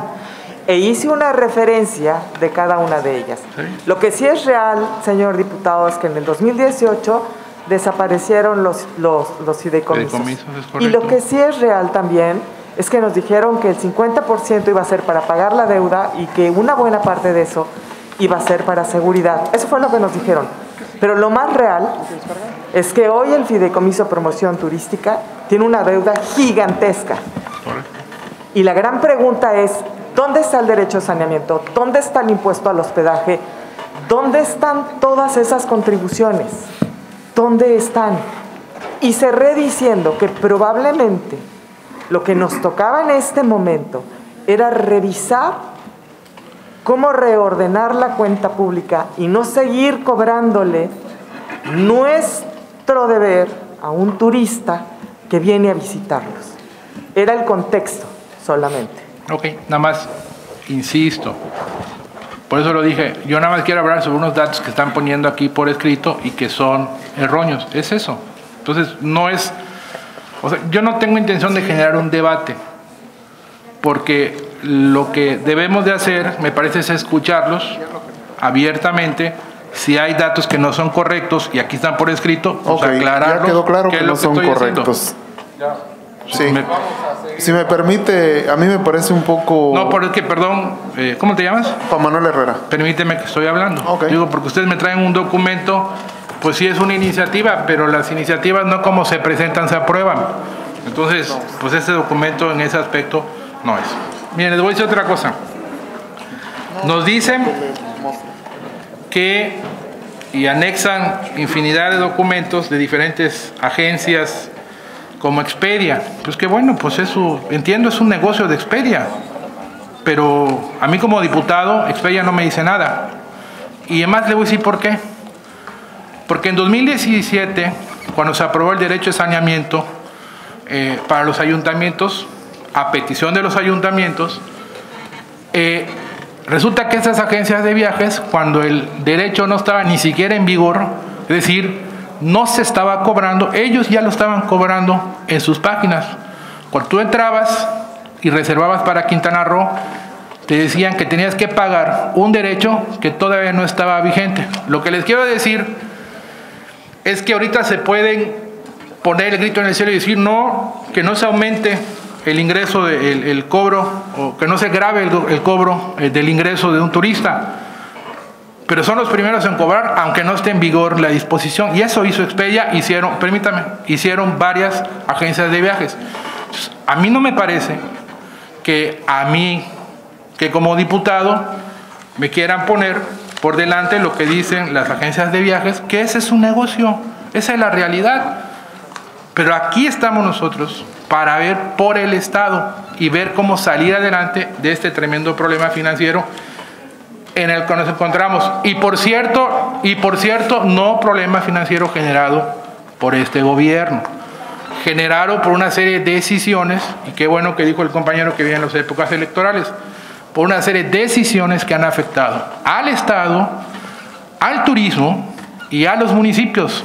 Y son decisiones, muchas de ellas aprobadas en el Congreso Federal.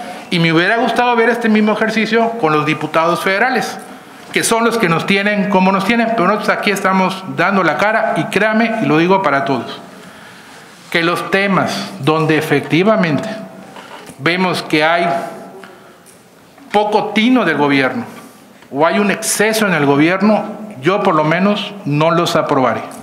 Pero este tema me queda claro que es importante para el Estado y que no estoy lesionando a ningún quintanarroense por aprobar en su momento esta disposición que estaría cobrando el ingreso de los extranjeros. Es cuanto, diputado presidente, gracias. Si me permite intervenir. Nos organizamos, si quieren vamos adelante, Lick, luego... Gracias. Roberto Cintrón.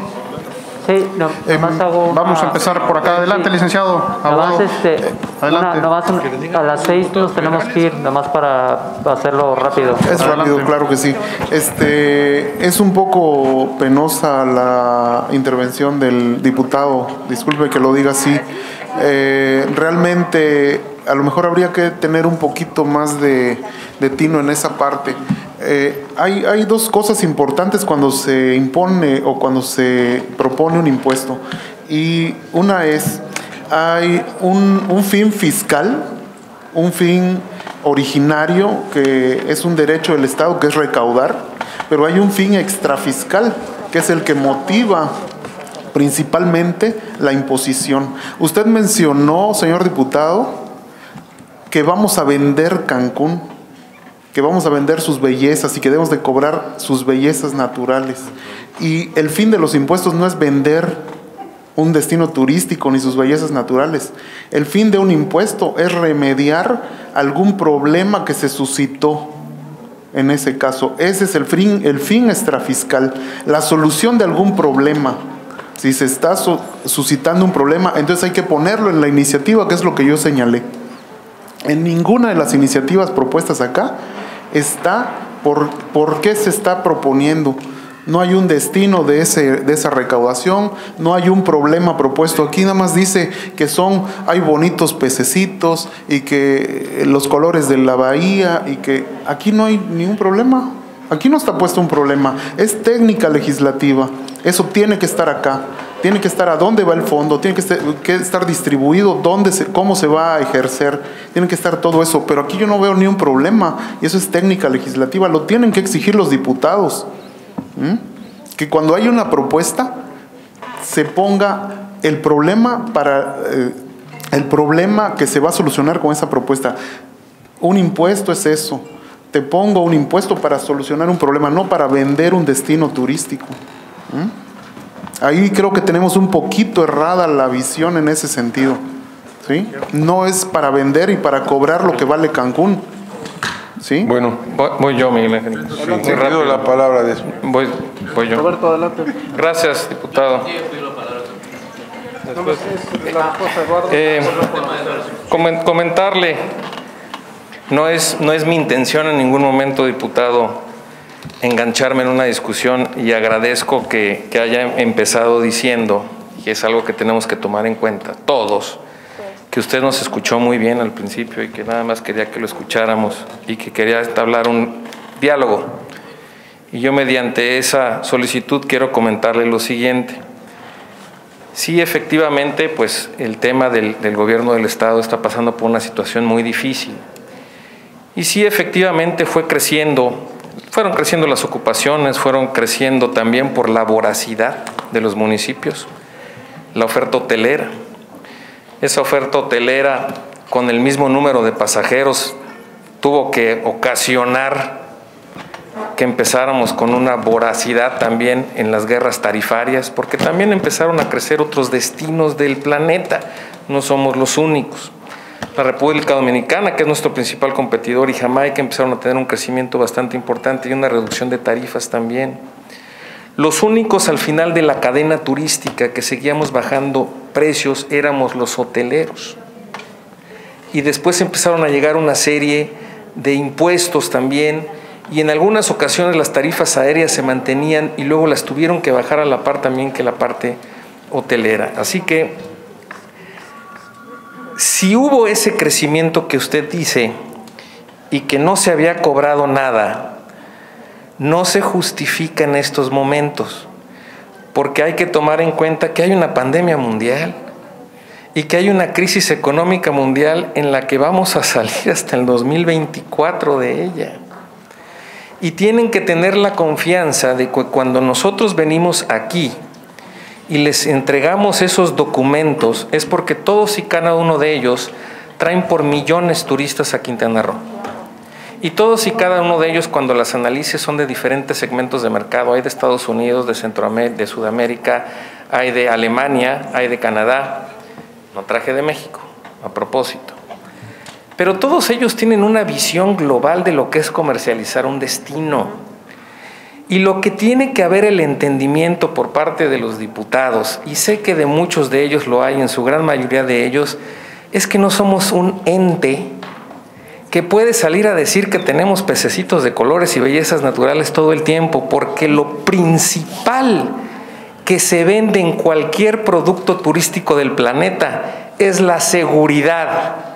Y lo principal en lo que estamos fallando en Quintana Roo es en brindarle al turista su seguridad, que no le vendan droga en la playa, que no le cobre de más el taxista, que los de tránsito no paren a los coches rentados y los extorsionen o inclusive hasta los secuestren, que las calles de la Quinta Avenida estén, que haya calles, que no haya fiestas indiscriminadas en Tulum y que la ley no ejerza su autoridad.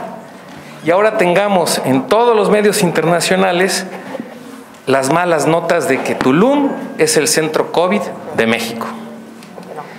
Cuando la ley cumpla con todas y cada una de estas, entonces va a ser el momento adecuado.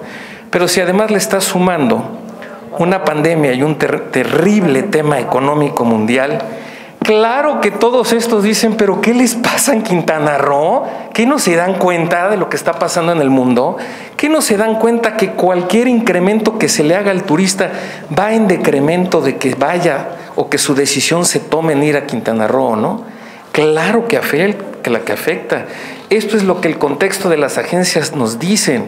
Inclusive hay una carta dirigida al gobernador de la agencia de mayor poder adquisitivo de Estados Unidos, que se llama Pleasant Holidays, y le está diciendo, oye, espérate, ¿cómo no es el momento? Cuando hay tantos incentivos. Por eso estamos aquí para sensibilizarlos y para decirles todo eso, no para entrar en un debate. Si Expedia y todas estas compañías que estaban cobrando ya el derecho de, de saneamiento ambiental, yo le voy a explicar por qué fue diputado. Porque en algunos municipios, como Benito Juárez, en colaboración con la presidenta municipal, Mara Lezama, y en su, a su voluntad, llegamos al acuerdo de que se empezara a cobrar en marzo. Inclusive, algunas, bueno, yo soy parte del comité diputado, no ciudadano, yo soy parte del fideicomiso en Benito Juárez y se empezó a cobrar a partir de marzo del año pasado. Estás confundido, Roberto. Permítame un segundito, estoy hablando del derecho de saneamiento ambiental, diputado. Correspondiendo a, a, a que lo escuché, por favor escuchen. Algunas agencias, como salió la ley que se iba a cobrar a partir del 23 de diciembre del año anterior, empezaron a anotar en sus páginas web que iban a tener un cobro a la llegada a su hotel, porque siempre quedó muy claro que iba a ser a la llegada al hotel.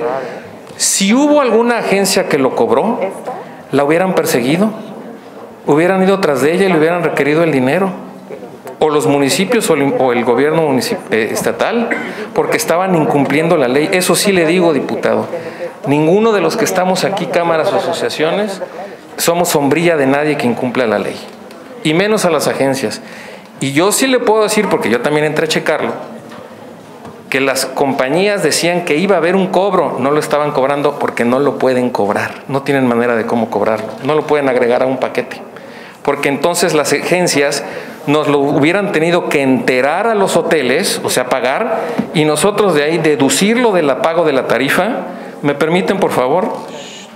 Nosotros de, deducirlo de la tarifa y de ahí enterarlo a los municipios. Y no fue así, diputado. Así no fue. Ahí sí, discúlpeme, pero lo que es, es. No, no es así, ¿eh? Bueno, y le voy a decir otra cosa. Cuando hablan, cuando hablan de que no le están lesionando a los quintanarroenses, a ver, si yo encarezco el impuesto sobre la nómina, ¿qué es lo que vamos a hacer todos los que somos empresarios? Pues sabes qué, Juanito, ya no te puedo mantener aquí, porque entonces tengo que pagar un poquito más de impuestos. Oiga, señor Roberto, ¿pero por qué? Porque tengo que pagar impuestos, Juanito. Entonces, ¿estoy lesionando o no cuando estoy dejando sin trabajar a alguien? Claro que estoy lesionando. Cuando estamos encareciendo el producto turístico para que no salgamos más caros competitivamente, como todos estos tour operadores lo están diciendo a nivel global, los que lo vamos a terminar, absorbiendo somos los empresarios turísticos. Entonces, si hay menos márgenes de utilidad, vamos a tener menos colaboradores porque no tenemos para tanto y no podemos estar quebrando. O no podemos ponernos en riesgo de quiebra. Entonces, ¿estamos lastimando a los colaboradores? Sí o no. Claro que sí estamos lastimando a Quintana Roo. Cuando a la gente se le pretende cobrar un impuesto a la salida de cualquier destino turístico del mundo, la gente sale con su cartera en la mano y guarda sus 10 dolaritos para el final de, de la vacación. ¿Qué le va a pasar entonces al señor camarista o camarista o al mesero que de última instancia al turista lo atendió o al taxista, no le van a dar esos 10 dolaritos. Porque la gente está castigada y por eso esas tarifas. Claro que se lesiona al quintanarroense, por favor. Esos son de los argumentos que dan risa y ofenden a la inteligencia de los empresarios quintanarroenses. Y cuando habla de que le, hubiera gustado ver este mismo ejercicio, por favor acostúmbrense, porque lo van a ver a partir de ahora. Para cualquier situación, ya no nos vamos a dejar. Acostúmbrense a vernos aquí, aquí o en el gobierno federal. Nada más entregarle la hoja de lo que leí, señor diputado. Ni siquiera dice 2018 e incluso aclaré 2009, del 2 al 3% porque necesitábamos playas, porque habíamos tenido a Wilma y Wilma se había llevado las playas. Se lo entrego, no sé, o sea, que ustedes, se- porque ese... El señor Roberto sí Ah, lo entregó bueno. y viene por todos ustedes. Este, Yo nada más para con- contesto y concluyo, ¿no? Para que los demás diputados puedan, puedan hacer uso. Miguel, adelante, Miguel. Uso Mire, yo este, quisiera ser muy claro, señores diputados. Creo que nosotros venimos este, a hacer un planteamiento, a concientizarlos a ustedes, no venimos a debatir, no venimos a buscar justificación alguna. Desafortunadamente ya hicimos nuestro planteamiento, por favor les pedimos que lo escuchen, que lo analicen, nos tenemos que retirar porque tenemos que tomar un vuelo ahorita o nos quedamos y ya no nos cierran el aeropuerto. ¿Sí? Venimos nosotros a esto. Quere- Queremos, agra- queremos agradecer en nombre de todos los organismos empresariales el que nos hayan recibido, el que podamos tener este diálogo eh, y como dice Miguel, este, por favor, eh, espero que consideren nuestras observaciones y, y estamos abiertos también para poder seguir este, en pláticas, ya sea en Cancún o aquí. ¿Aguantan alguna otra, el tiempo que tienen, alguna otra intervención de algún otro diputado? Cierran el aeropuerto. De aquí. ¿Vinieron Sí. No, puede, no podría la legislatura mover influencias para extender el horario de la Bueno, pues cerramos ya en este sentido. Mi nombre es Carlos Hernández. Eh, bien lo dijo Miguel Ángel, Miriam, eh, vinieron aquí a exponer eh, puntos de vista. Tengan la certeza que sí hay diputados que los representan, estamos escuchándoles. Sin duda alguna, aquí no se vino a, a debatir en, en este momento, se vino a escuchar, a escuchar los planteamientos de ustedes. Para eso es el Parlamento abierto. Les agradecemos su presencia a cada uno de ustedes. Reconocemos los puntos de vista que nos han dado, seguramente los analizaremos en las comisiones. Eh, recuerden que no solamente vamos a ver los ingresos, también vamos a ver los egresos del gobierno, o sea, hacia dónde se destina el recurso. Es la parte importante que a ustedes también les interesa. Bien lo dijo Miriam, en dónde está y hacia dónde se va el recurso. Y tengan la, la certeza ¿no? de que no solamente le escucharemos a ustedes que han estado planteando, tenemos la obligación de escuchar a muchos sectores sociales que también están demandando recursos, demandando inversiones, demandando obras y acciones por parte del gobierno, que también nos ha venido aquí a decir que estableció subsidios eh, y estímulos durante la pandemia por más de 1.100 millones de pesos, que también ahí están, eh, que se han reflejado o no los han dicho, pero lo más importante es que se sientan ustedes que quisiera, por el tiempo, hablar en nombre de todos mis compañeros, tengan la certeza que vamos a analizar cada uno de los puntos que nos han entregado por escrito. Muchas gracias, bienvenidos y buen viaje de regreso. Hacemos otro encuentro, pero yo que era- Bien, agradecerles, agradecerles a todos la presencia y como lo comentamos en un principio, Roberto, la, la información que nos hiciste llegar, se la haremos llegar a la, a la Secretaria de Finanzas y generaremos mesas de trabajo con ellos para que se busque lo mejor para el tema del paquete fiscal. Muchas gracias, diputados. Muchas gracias a todos. En mi coche caben cuatro. Si alguien se quiere quedar, nos vamos en coche. Dale, dale, dale. Lenin si se queda, yo me quedo si es necesario.